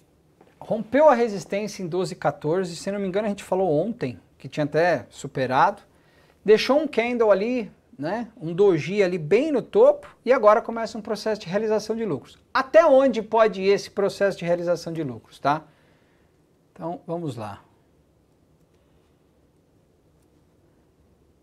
Ó, aqui 10, tem só um ponto que eu quero tirar essa dúvida, é se esse papel 11,26 com 11,30, ele deixou esse gap, tá? Então ele deixou esse gap aqui, viu, Letícia? Eu deixaria, se você está posicionado, o stop aqui. Agora, é aquilo que eu falo. Fez um, pode ter sido um falso rompimento, mas o próximo ponto da compra ficou aqui, agora ficou claro. Então, se a semana que vem a bolsa dá uma realizada, que era aquele movimento que a gente queria, dá uma realizada, fica ali uns 4, 5, 6 pregões abaixo da resistência e retoma, seria bastante interessante isso. Então, sim, para isso que eu vejo, tá? Esses 12,85 aqui é um ponto interessante, mas tem que passar essa região de resistência. Tá bom? Tem que passar aqui. Então agora é a hora, realiza, espera, stop para quem está posicionado nos 10,85 e a retomada acima de 12,85, tá bom? que mais? Então vamos lá. O que mais que tem aqui? Deixa eu ver que agora conectei de novo aqui. Agora eu já estou conectado aqui, só preciso achar a pergunta. Então tudo bem, tá fácil. Uma pergunta do Edson sobre Sabesp, às 11h01, perguntando se vale uma entrada agora. Nossa, nós já estamos nas on às 11 é. Sabesp, agora eu achei. 11 e 1, vamos lá. Rapaz, eu vi uma. Eu vou falar aqui de Sabesp, mas eu quero me antecipar e quero falar de Sanepar também. Porque eu estava dando uma olhada me veio aqui que Sanepar estava perto de uma resistência interessante. Eu vou dar uma conferida aqui que eu fiquei curioso agora. Então vamos dar uma olhada. Ó, Sabesp é um movimento positivo de médio prazo, acima da média móvel de 200. No curto prazo, o que, que a gente está vendo? É um papel de lado, né? Mas 48,70 aqui pode ser um pontinho de compra tá? já no gráfico diário mesmo. Então já vejo que poderia ser um pontinho de compra ali nessa, nessa superação de resistência. É, quem está posicionado, a minha preocupação é 43,25. Esse é o ponto mais importante ali para gente, para ficar atento, porque se perder pode abrir caminho aí para um movimento de realização, podendo buscar a média móvel de 200 e, por que não, essa região de suporte aqui, ó, ó esse suporte aqui por volta dos 39,30, tá bom? Deixa eu falar aqui de Sanepar. Porque eu vejo que se Sabesp começar a andar, a gente pode, pode ser um movimento de setor. E Sanepar é uma ação que a gente já vinha falando há muito tempo, então ela já está trabalhando aqui ó, dentro desse intervalo, olha que legal, ó. Há pelo menos um ano e meio. E essa região de 21 e 20, embora está um intervalo, um consenso. O que é esse intervalo? É um consenso de mercado. Então está muito claro, há um ano e meio, né? O mercado está trabalhando ali 21 e 20 é caro, 19, 18 reais é barato. E aí ele fica oscilando dentro desse intervalo. Na hora que ele passar essa região, o mercado perde um pouco a referência desse consenso de negociação. E é aqui nesse desequilíbrio que eu acredito que possa dar oportunidade de compra. Então, o papel já está acima da média móvel de 200. A gente está vendo, a gente viu agora há pouco com o Sabesp. Então, Sanepar pode ser um papel interessante para ficar de olho. Não é para comprar agora, porque não rompeu resistência e está dentro desse intervalo. Mas se conseguir passar, eu acho que vale a pena ficar de olho. Então, qual que seria o ponto aqui? 21 e 20. Se eu quiser ser mais criterioso, mais rigoroso aqui, ó, é essa máxima aqui, 21,50, que também não é muito distante ali dos 21,20. Beleza? Então vamos lá, vamos para a próxima aqui, Sabesp. Já passei aqui, né?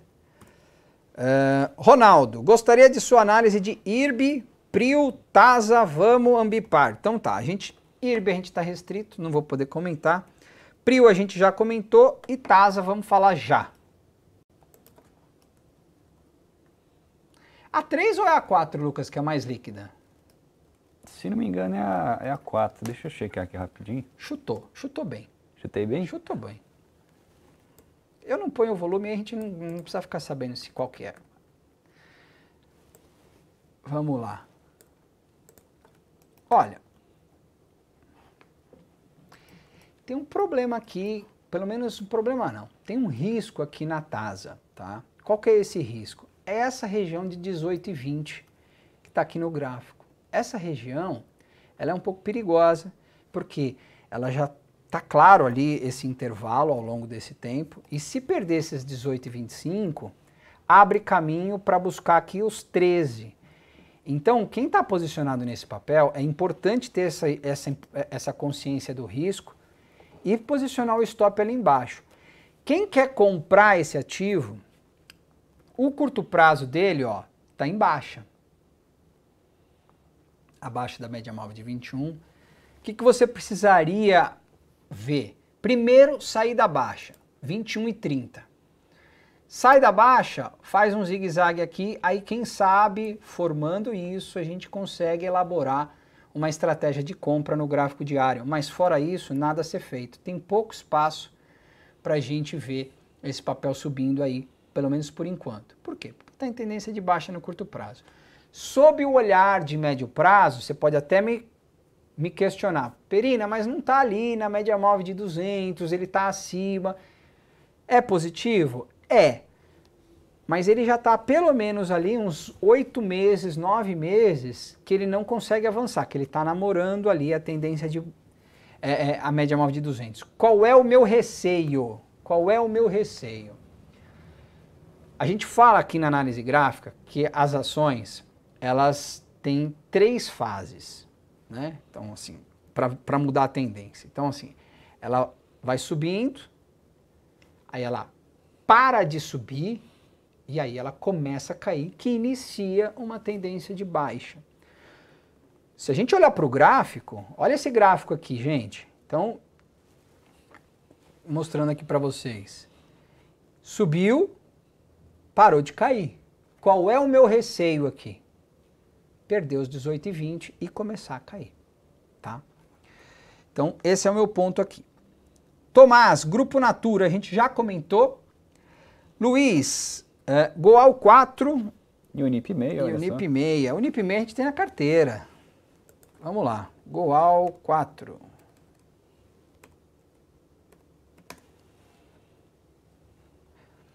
Olha, tá indo bem, rompeu os 12,60 aqui, deixa eu ajustar aqui que isso aqui é dividendos. Rompeu, tá indo bem. Eu acho que o próximo ponto de compra, e para mim o melhor ponto de compra é no rompimento do topo.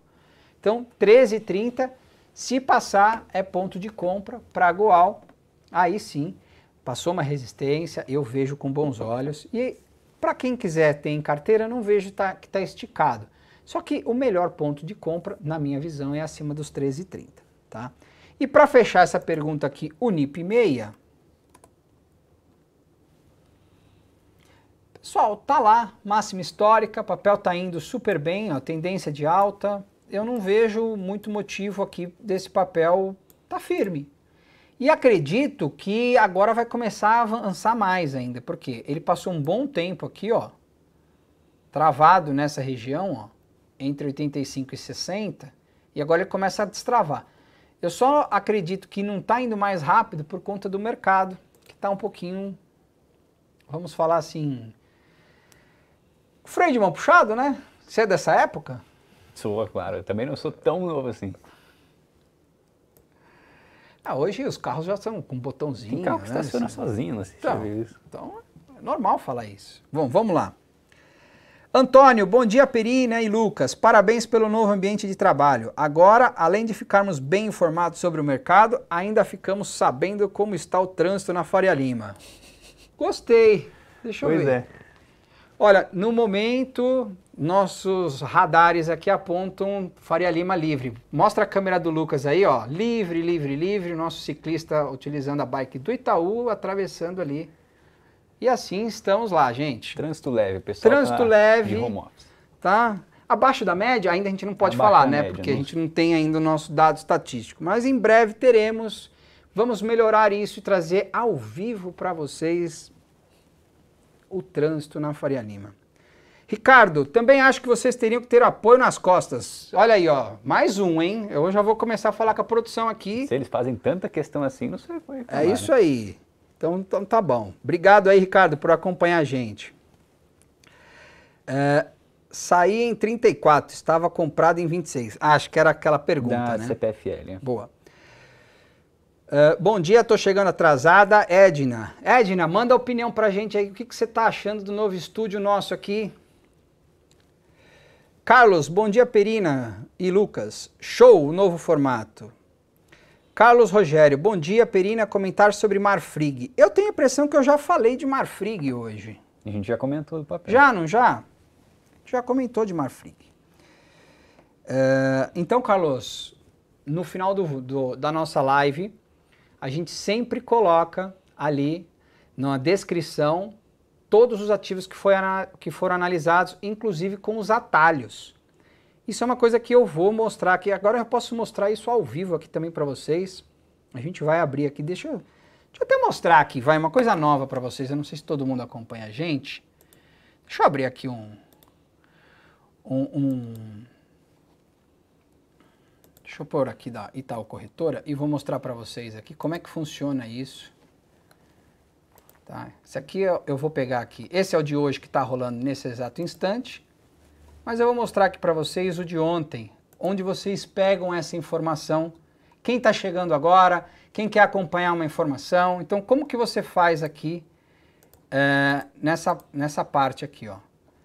Deixa eu, deixa eu só ajustar essa, essa minha parte. Descrição do vídeo acho que fica embaixo, porque tá tudo.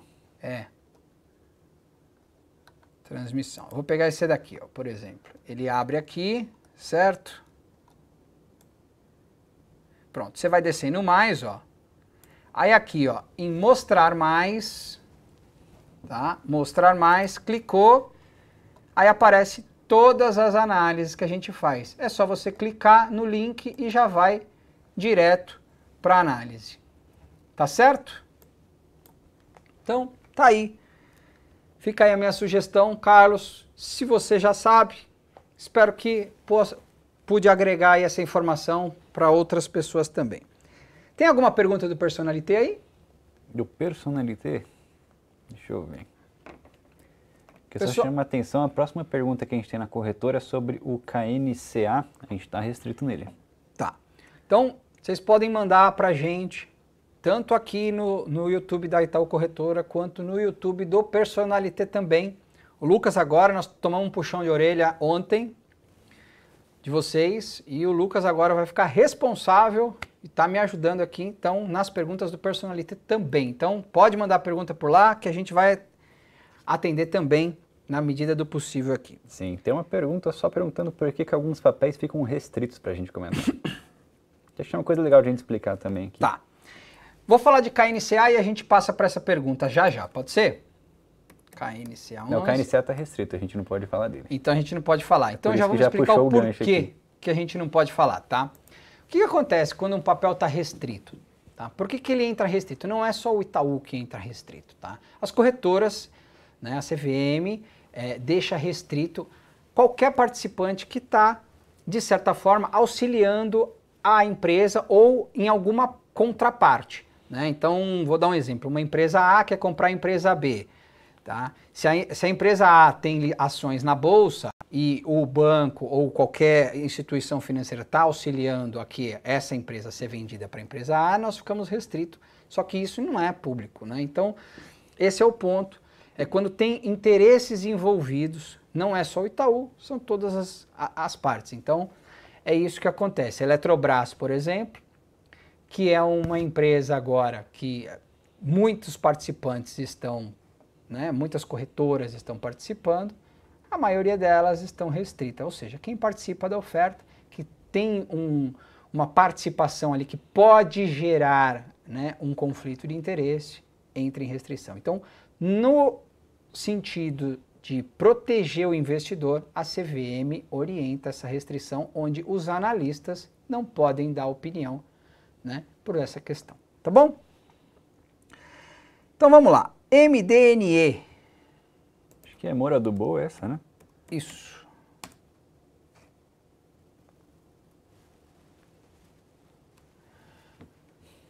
Bom, perdendo suporte hoje, inclusive aqui, ó, 6,09, tá? É, 6 e 11 aqui. Perdeu, tá 6 e 15, mas se a gente olhar a mínima hoje, chegou a bater abaixo, né? Então é um ponto de atenção. Tá retomando a, a tendência de baixa e pode buscar aqui essa região de 5,55. Então não é compra, muito pelo contrário, é uma, é uma sinalização de cautela que eu vejo para esse papel e aguardaria. Onde eu vejo compra? Só acima de 7,50, tá bom? Luiz Almeida, estou quebrado na Via Varejo e na Magazine Luiza. Você vê alguma saída? Custo médio via 8 e Magazine Luiza 12. Compra abaixo o custo médio? Com... Não, pera. Compro para abaixar o preço médio?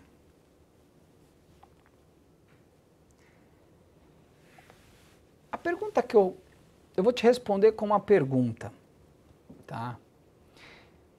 Você vai comprar apenas para baixar o preço médio? Você só está fazendo uma conta matemática, tá? Então, por que, que você compra uma ação? Qual é a... Vamos pensar, por que, que você compra uma ação? Você compra uma ação porque você acredita que ela vai subir.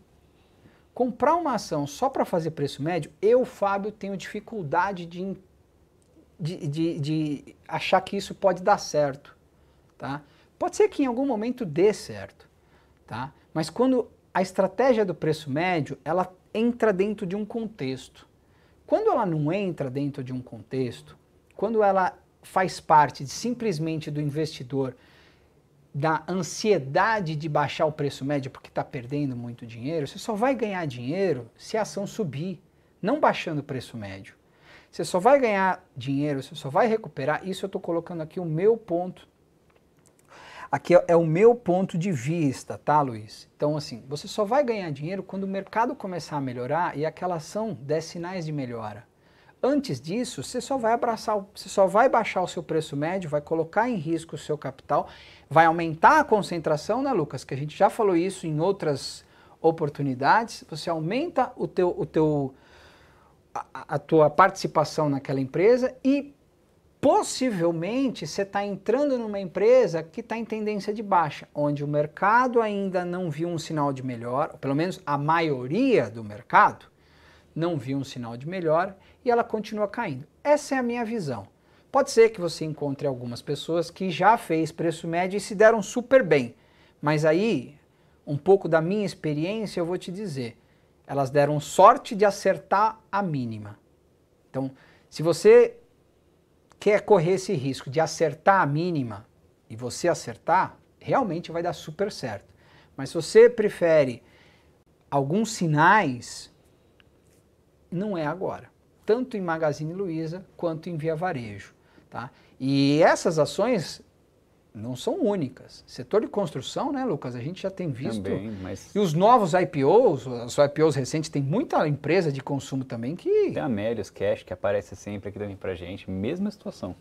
E tem outra coisa, empresas inclusive tradicionais, na boa, que a gente conhece, pelo menos eu conheço. Desde quando eu sou pequeno que eu vou em shopping, eu vou lá, tem a C&A, Marisa, enfim. Você pega esses ativos, também são ativos que caíram bastante, olha. E não é muito longo não, olha. Por exemplo, você pega uma C&A aqui, ó. Junho do ano passado estava 18 reais, o papel está 3. Né?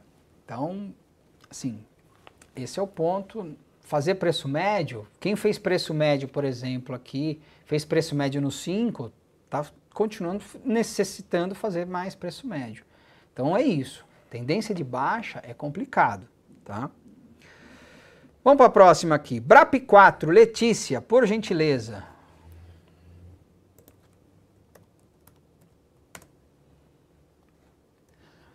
Olha, tá indo bem, assim como a Vale, rompeu resistência, deixou um gap aqui nesse rompimento. Tenho, eu tenho a impressão, se eu pudesse chutar, vai ser fechado. Tem esse outro gap aqui embaixo que não dá para eu cravar que vai ser fechado, tá? Mas eu fico um pouco reticente por hora. Mas é isso, o papel está indo bem, tem condições de buscar aqui os 32 e os 35. Para ter em carteira nesse momento, me parece um ativo bastante interessante. É um papel que está forte, está acima da média móvel de 200 e neste cenário do Ibovespa, minha percepção é que tende a andar ou pelo menos em linha ou muito próximo ali do que vai acontecer com o Ibovespa, tá? Então, eu daria preferência para ter em carteira esse tipo de ativo, com essas características, tá bom? O é, que mais aqui, Lucas? O que, que a gente tem mais aqui? Tem uma aqui do Carlos Rogério sobre Vibra 4. Eu não sei se Vibra tem a é 4, a 3 só. Tem 3 só. Só 3. VBBR 3. É, isso aí, novo mercado, só vai ter a 3 mesmo. Então, esse é um ativo também interessante, olha. Outro setor, né? Distribuição. A gente viu mineração, desculpa, construção, varejo, e-commerce. A gente viu a Azul de aviação e agora de distribuição de combustível, retomando a trajetória de baixa, indo buscar ali a região de 18,50, que se perder é um ponto de venda e aí pode vir buscar essa região de 16,60 aqui. Qual que é o sinal de reversão? Passando esses 20 e 75, tá bom? O que mais que tem aqui? Agora temos sobre Ferbasa, esse aqui aparece de vez em quando aqui. Feza Cristiane? 4. Isso aí. Vou passar a bola para você, hein? Tá preparado aí? Ao vivo, no novo campo de futebol? É, o campo um pouco estranho, né? Jogando fora de casa, mas a gente vai vai tentar fazer o nosso melhor. Então vai, vou passar a bola para você. Então você manda a bala aí e fala de Feza aí, da Cristiane. Então vamos lá, Feza 4.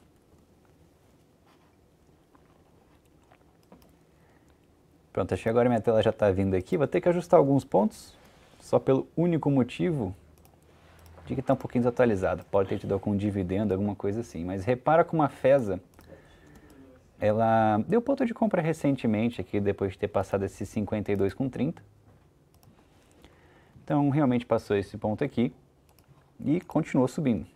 Foi na tendência de alta e rompeu mais um outro ponto, que era um ponto de resistência forte aqui no 57,85. Então, meu ponto aqui é que esse ativo já vem numa tendência de alta há um certo tempo.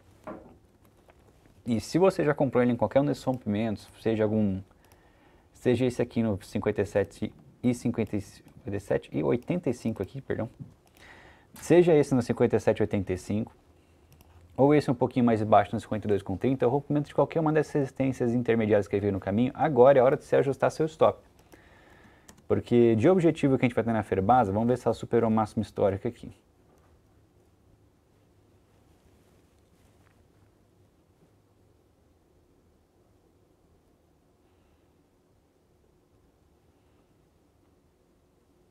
Sisteminha parece que não gostou muito da casa nova. Mas pelo jeito é máxima histórica ali. A gente vai usar a projeção de Fibonacci de qualquer jeito para falar desse ativo. Porque agora ela, vamos dizer assim, quebrou uma última barreira que ela tinha antes de buscar ali realmente destravar. Você vê que acima desse 57,85 não tem mais resistência. O objetivo que tem que ficar atento agora é perfeito. Você comprou um ativo muito bom, você comprou em qualquer um desses rompimentos aqui de resistências. Próximo ponto agora, vamos ver. Está chegando perto já do primeiro objetivo aqui, que já está acima de 57,85, que é esse 60 e 55. Então a gente está falando um ativo que chega lá um pouco esticado, a gente vai tirar a dúvida agora com o IFR, mas a questão aqui é justamente se proteger dessa queda e ajustando stop. Dois motivos, o primeiro é que o mercado ele tem rompido esses pontos e não tem conseguido avançar na direção dos pontos rompidos, é uma coisa que a gente tem falado aqui com bastante frequência. E agora, o problema desse aqui também é que o stop fica bem longe. Se fosse colocar um stop um pouquinho mais embaixo, ó, eu não passaria dessa região do 51. Então assim, você tem um ativo que subiu rápido, forte, isso é legal na questão de romper resistência, só que agora seu stop vai ficar um pouco longo. Ou ele fica um pouco longo aqui no 51, ou você coloca algum ponto mais fraco no meio do caminho, que é esse 55 e 45, por exemplo. A questão agora é continuar surfando essa tendência, proteger seu ganho se está comprado nela. Se não tiver comprado ainda na Ferbasa, aí é esperar alguma realização, a gente chama isso de zigue-zague aqui, mas é uma realização. Bater alguma resistência, voltar um pouquinho, isso ganha, isso dá fôlego para o ativo voltar a subir quando ele voltar a resistência mais uma vez. Então fique atento a isso, não é o momento de entrar nesse ativo, se a gente for ver o IFR aqui, 79, quase sobrecomprado, mas está esticado, a gente vê que ele está distante já da média móvel de 221, então está bem perto ali do IFR, confirmar isso também. Ponta não entraria agora, mas surfaria essa tendência se você está comprado nela aqui, só cuidado com o stop, porque os ativos eles têm rompido esses pontos e não estão conseguindo avançar tanto. Então é prudente aqui colocar um, um stop talvez um pouquinho mais curto, ou pelo menos não deixar passar de 51, e é isso que eu digo aqui para a Ferbasa. Zuleika, qual das elétricas que está melhor para comprar observando o gráfico? Copel, Semig, TRPL ou Taisa? Eu tenho a impressão que vão ser uma dessas duas aqui, ó. Pelo que você citou, Copel. Inclusive já está aqui, porque ela, a gente falou de alguns ativos né, que romperam resistências e não conseguiram avançar muito. Copel é um exemplo. Ele passou aqui essa resistência no 7,30, 7,35 né, para ser exato. Avançou só mais um pouco, e deixou uma resistência aqui por volta desses 7,80. Então a questão aqui agora na, na Copel 6 é que ela não conseguiu avançar muito, realizou, isso não é de todo ruim, tá? Porque segurou acima do 7,20, então não perdeu ainda aquela força que ela mostrou que tinha quando rompeu o 7,35, mas ainda não é compra agora, porque a compra vai ser quando ela voltar aqui para cima e romper esse 7,80 no gráfico diário. O objetivo já tem algum traçado? Não. A gente traça um aqui nesse movimento. 7,80, coloca aqui o 7,20, primeiro objetivo ali nos 8,15. 8,15, então, primeiro objetivo se for rompido esse 7,80, só que agora não é a hora, tem que aguardar rompimento de ponto mesmo, como a gente viu com o CPFL também, que é outro ativo que vinha em alta, uma alta até mais forte que essa. O outro, dos que você pediu aqui, que eu acho que vai estar numa situação bastante parecida, vai ser CEMIG. Repara que é a mesma coisa, as duas passaram a resistência, Semig passou no caso o 11,55, não avança muito, deixa a resistência no 12,20, recua aqui, também se segura acima do suporte no 0,5. Então, entrou em tendência de alta, superou a máxima, mas realizou. Para você que quer entrar, tem que esperar o rompimento aqui desses 12,20, vai então entrar próximo. Teria que atualizar esse objetivo aqui, porque ele está projeção de uma outra perna, a gente faz rapidinho aqui, igual a gente fez para a Copel. O objetivo nesse rompimento dos 12,20 seria ali 12,85. Então, dois casos aqui você tem ativos muito parecidos, CEMIG e Copel 6 com o gráfico.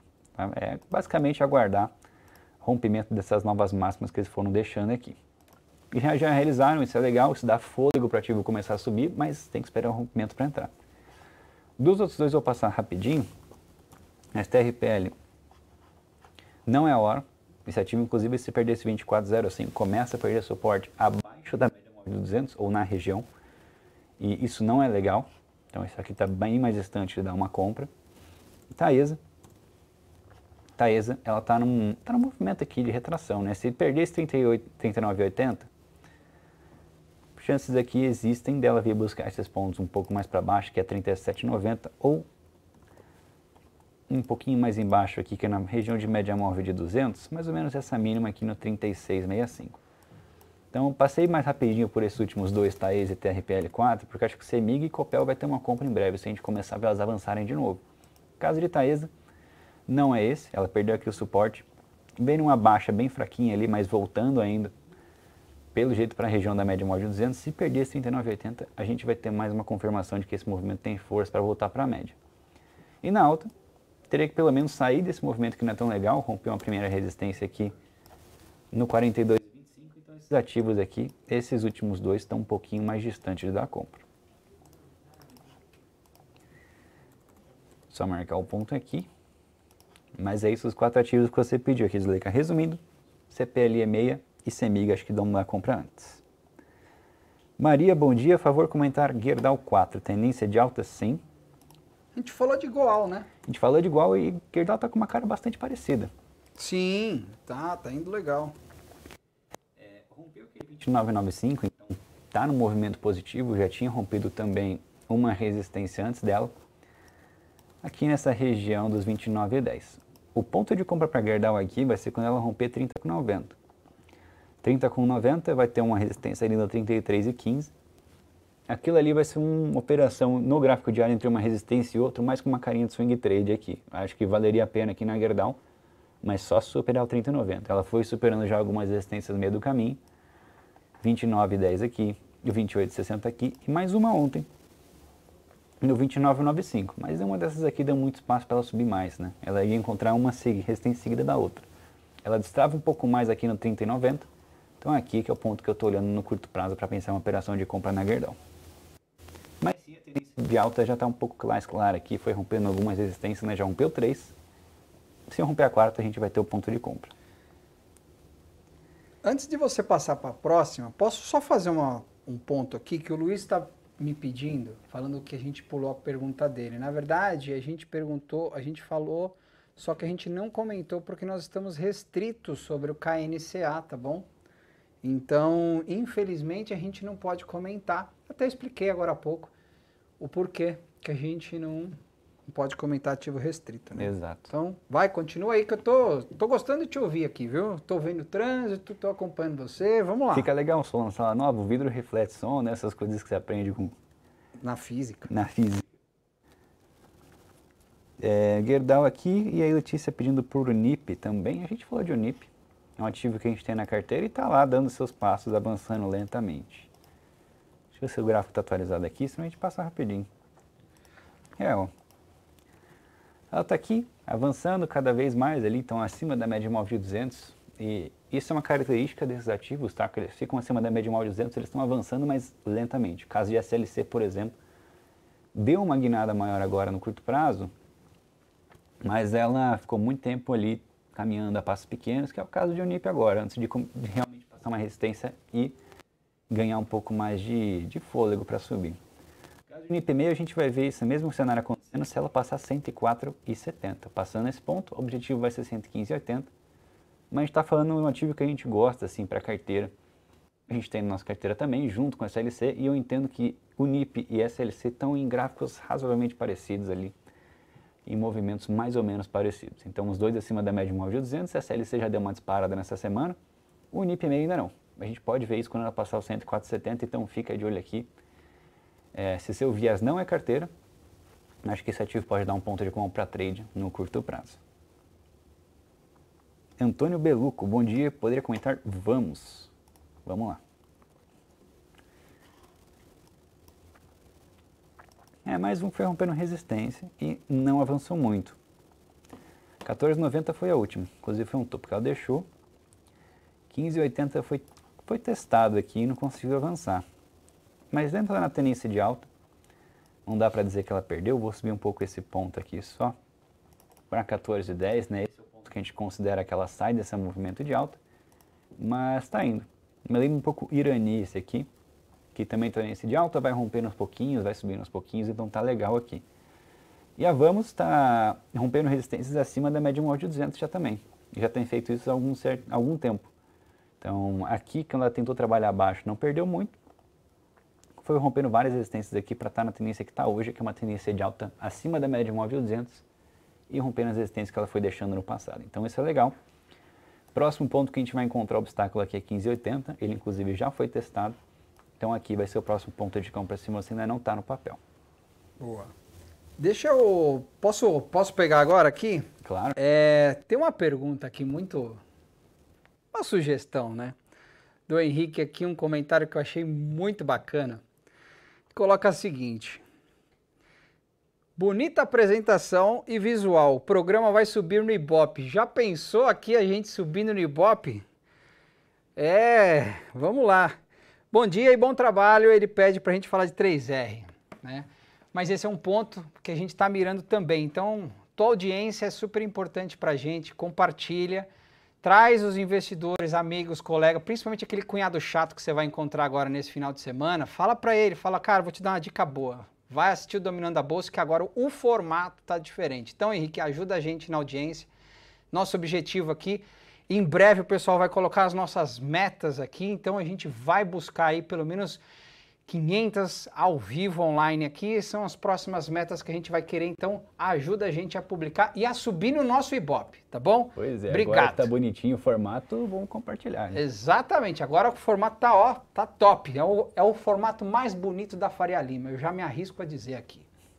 Então vamos lá, vamos falar de 3R? Eu acho que eu já falei de 3R no setor, tá? Mas tudo bem, eu vou falar rapidinho aqui, a gente já está chegando já para a parte da reflexão do dia. Então eu vou dar uma acelerada para a gente correr, tá? 3R, tendência de alta, próximo ao topo histórico, ainda não passou, então isso é importante a gente ter em mente. O papel está no processo de realização de lucros por hora, é aguardar. Passando a máxima ali, R$ 51,00, R$ 51,40 é ponto de compra, tá bom? Tem uma pergunta aqui do Vilobaldo. Uh, bom dia, Fábio Perina e Lucas Pisa. Assisto quando posso a abertura com vocês. Parabéns pelo novo Visu. É isso aí, pessoal. Obrigado por acompanhar a gente. Vamos lá. Uh, e aí ele pergunta aqui se para eu, eu investir em ações da corretora é necessário ser correntista. É, aí aqui o pessoal mesmo da, da, já, da corretora já respondeu é, que você não você pode abrir conta da corretora de forma independente, não necessariamente precisa ser correntista do Itaú. O uh, ah, que mais? Uh, Luiz Otávio, Perini Lucas, agora sim, o canal da Itaú Corretora com uma transmissão mais profissional, imagem em HD, ambiente de telejornal, boa iluminação, ficou ótimo, parabéns, obrigado pelo carinho, Luiz, e obrigado pela audiência também. Uh, Leonardo, mesmo setor elétrico, AES Brasil. Ô Lucas, me dá uma ajuda aqui. Qual que é o código da AES Brasil? É AESB3.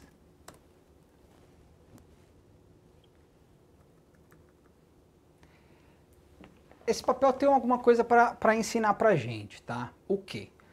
O setor elétrico, a gente sempre tem falado aqui, a maioria dos papéis estão em tendência de alta, estão próximos às suas máximas históricas. Prova essa que o índice do setor está em alta, está ali acima da média móvel de 200, bateu a máxima histórica recentemente, mas nem sempre o setor indo bem é reflexo, quer dizer que todas as ações vão bem. Prova essa, AES Brasil, tendência de baixa, abaixo da média móvel de 200, pelo menos desde maio de 2021, ou seja, há um ano esse papel trabalha abaixo da média móvel de 200. O que, que a gente pode dizer sobre isso? Infelizmente, é aguardar, é esperar qualquer sinal de melhora, que porventura ainda não vejo. Sob o olhar de médio prazo, acima de 12,50. Curto prazo, ainda não, acima ali de 11 reais, tá bom? Vamos para mais uma pergunta e aí a gente parte para a nossa reflexão. Pode ser? Vamos lá. Então vamos lá. É, o Lucas está com saudades dos pets. Já dei a sugestão para ele colocar, trazer a fotinho dele aqui. Eu tô impressionado como meus cachorros são famosos aqui, Tá viu? vendo? Edson Franco, o BID 11 vai virar pó? A gente está restrito, não vou poder comentar. Érica elogia o nosso local aqui, obrigado. É, convida a gente ao vivo. Aí, produção, tem que falar com o produtor. Tá aí uma boa sugestão. Lá embaixo no Investment Center tem um cafezinho também, ó. Show de bola. Nós vamos trabalhar isso aí. Eu vou levar essa sugestão para a gente fazer um evento ao vivo e trazer uma plateia. Isso aí vai ser divino. É, e para fechar aqui, Perini e Lucas, sabem informar quando a Larissa e o Marcelo vão fazer a live de fundos imobiliários deste mês? Estou querendo participar, mas só fico sabendo depois. Precisa melhorar a divulgação. Bom, a Larissa, uma hora dessa, deve estar cuidando do Martim, que nasceu no mês passado, então a Larissa está de, tá de licença, mãe fresca, é a mãe do ano que a gente chama na área, então ela está numa boa ali, curtindo o filhão. Agora, o Marcelo, esse tá aí pronto. Em breve eu acredito que vai ter essa live. Eu ainda não tenho as datas, mas dá uma consultada aí no, no site que possivelmente em breve o pessoal vai comentar. Eu sei que o relatório da análise da carteira, da, da atualização, tenho a impressão que já saiu, né? Saiu ontem. É isso aí. Bom, então, dito isso, chegou aquela hora, a nossa tão chegada final do dia. Estamos a pré, pré-sextou, né? Agora podemos dizer que já estamos no pré-sextou. E chegou a hora também da nossa reflexão do dia.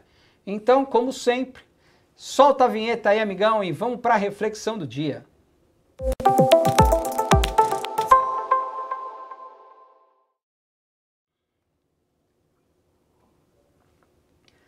Reflexão do dia de hoje, pessoal, um tema muito importante que eu quero trazer aqui para vocês é falar sobre medo e prudência na hora de investir. Então, eu quero trazer aqui para vocês um ponto importante que tá aqui, até eu já deixei na tela de propósito para a gente discutir. E eu acho que tem muito a ver, inclusive vem é, de alguns investidores que me mandam algumas sugestões, né, algumas dores e a partir desses conteúdos a gente consegue elaborar mais ou menos alguns conteúdos para trazer para reflexão. Então, hoje o tema é medo versus prudência na hora de investir. Qual que é a diferença entre medo e prudência? Imagina eu chegando aqui para você, quando a gente fala em medo. Imagina na, no, na frase no diário do grafista. É um momento do investidor ter medo no mercado de ações. Ou melhor, é momento do investidor ter prudência no mercado de ações. Quando isso bate na cabeça, o que, a gente pensa naquele momento? Tá? O medo, o medo ele paralisa. Isso para tudo.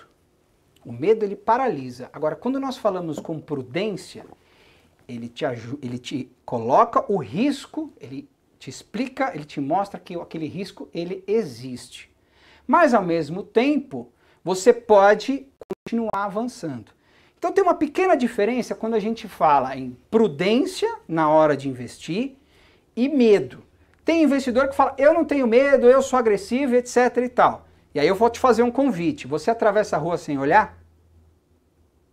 Acho que não. Então, o medo ele numa dose certa, ele pode te trazer o quê?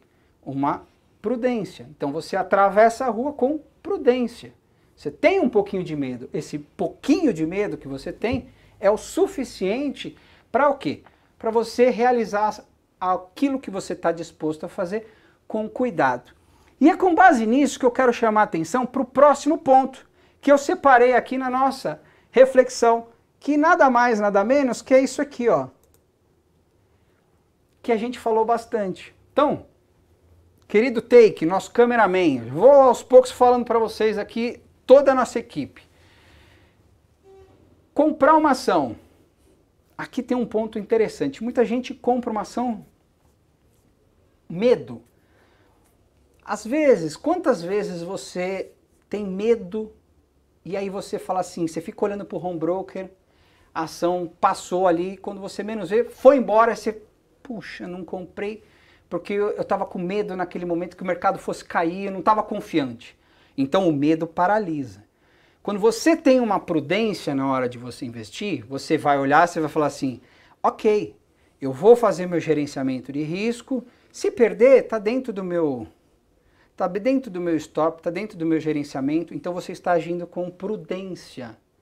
Essa parte ela é um pouco mais fácil, principalmente porque muitos investidores na hora de compra, muitos conseguem elaborar e fazer uma compra com prudência. Ele estuda, ele vai fazer, ele lê um relatório, ele segue uma recomendação da corretora. Então aqui é onde o investidor mais age, eu diria, com prudência.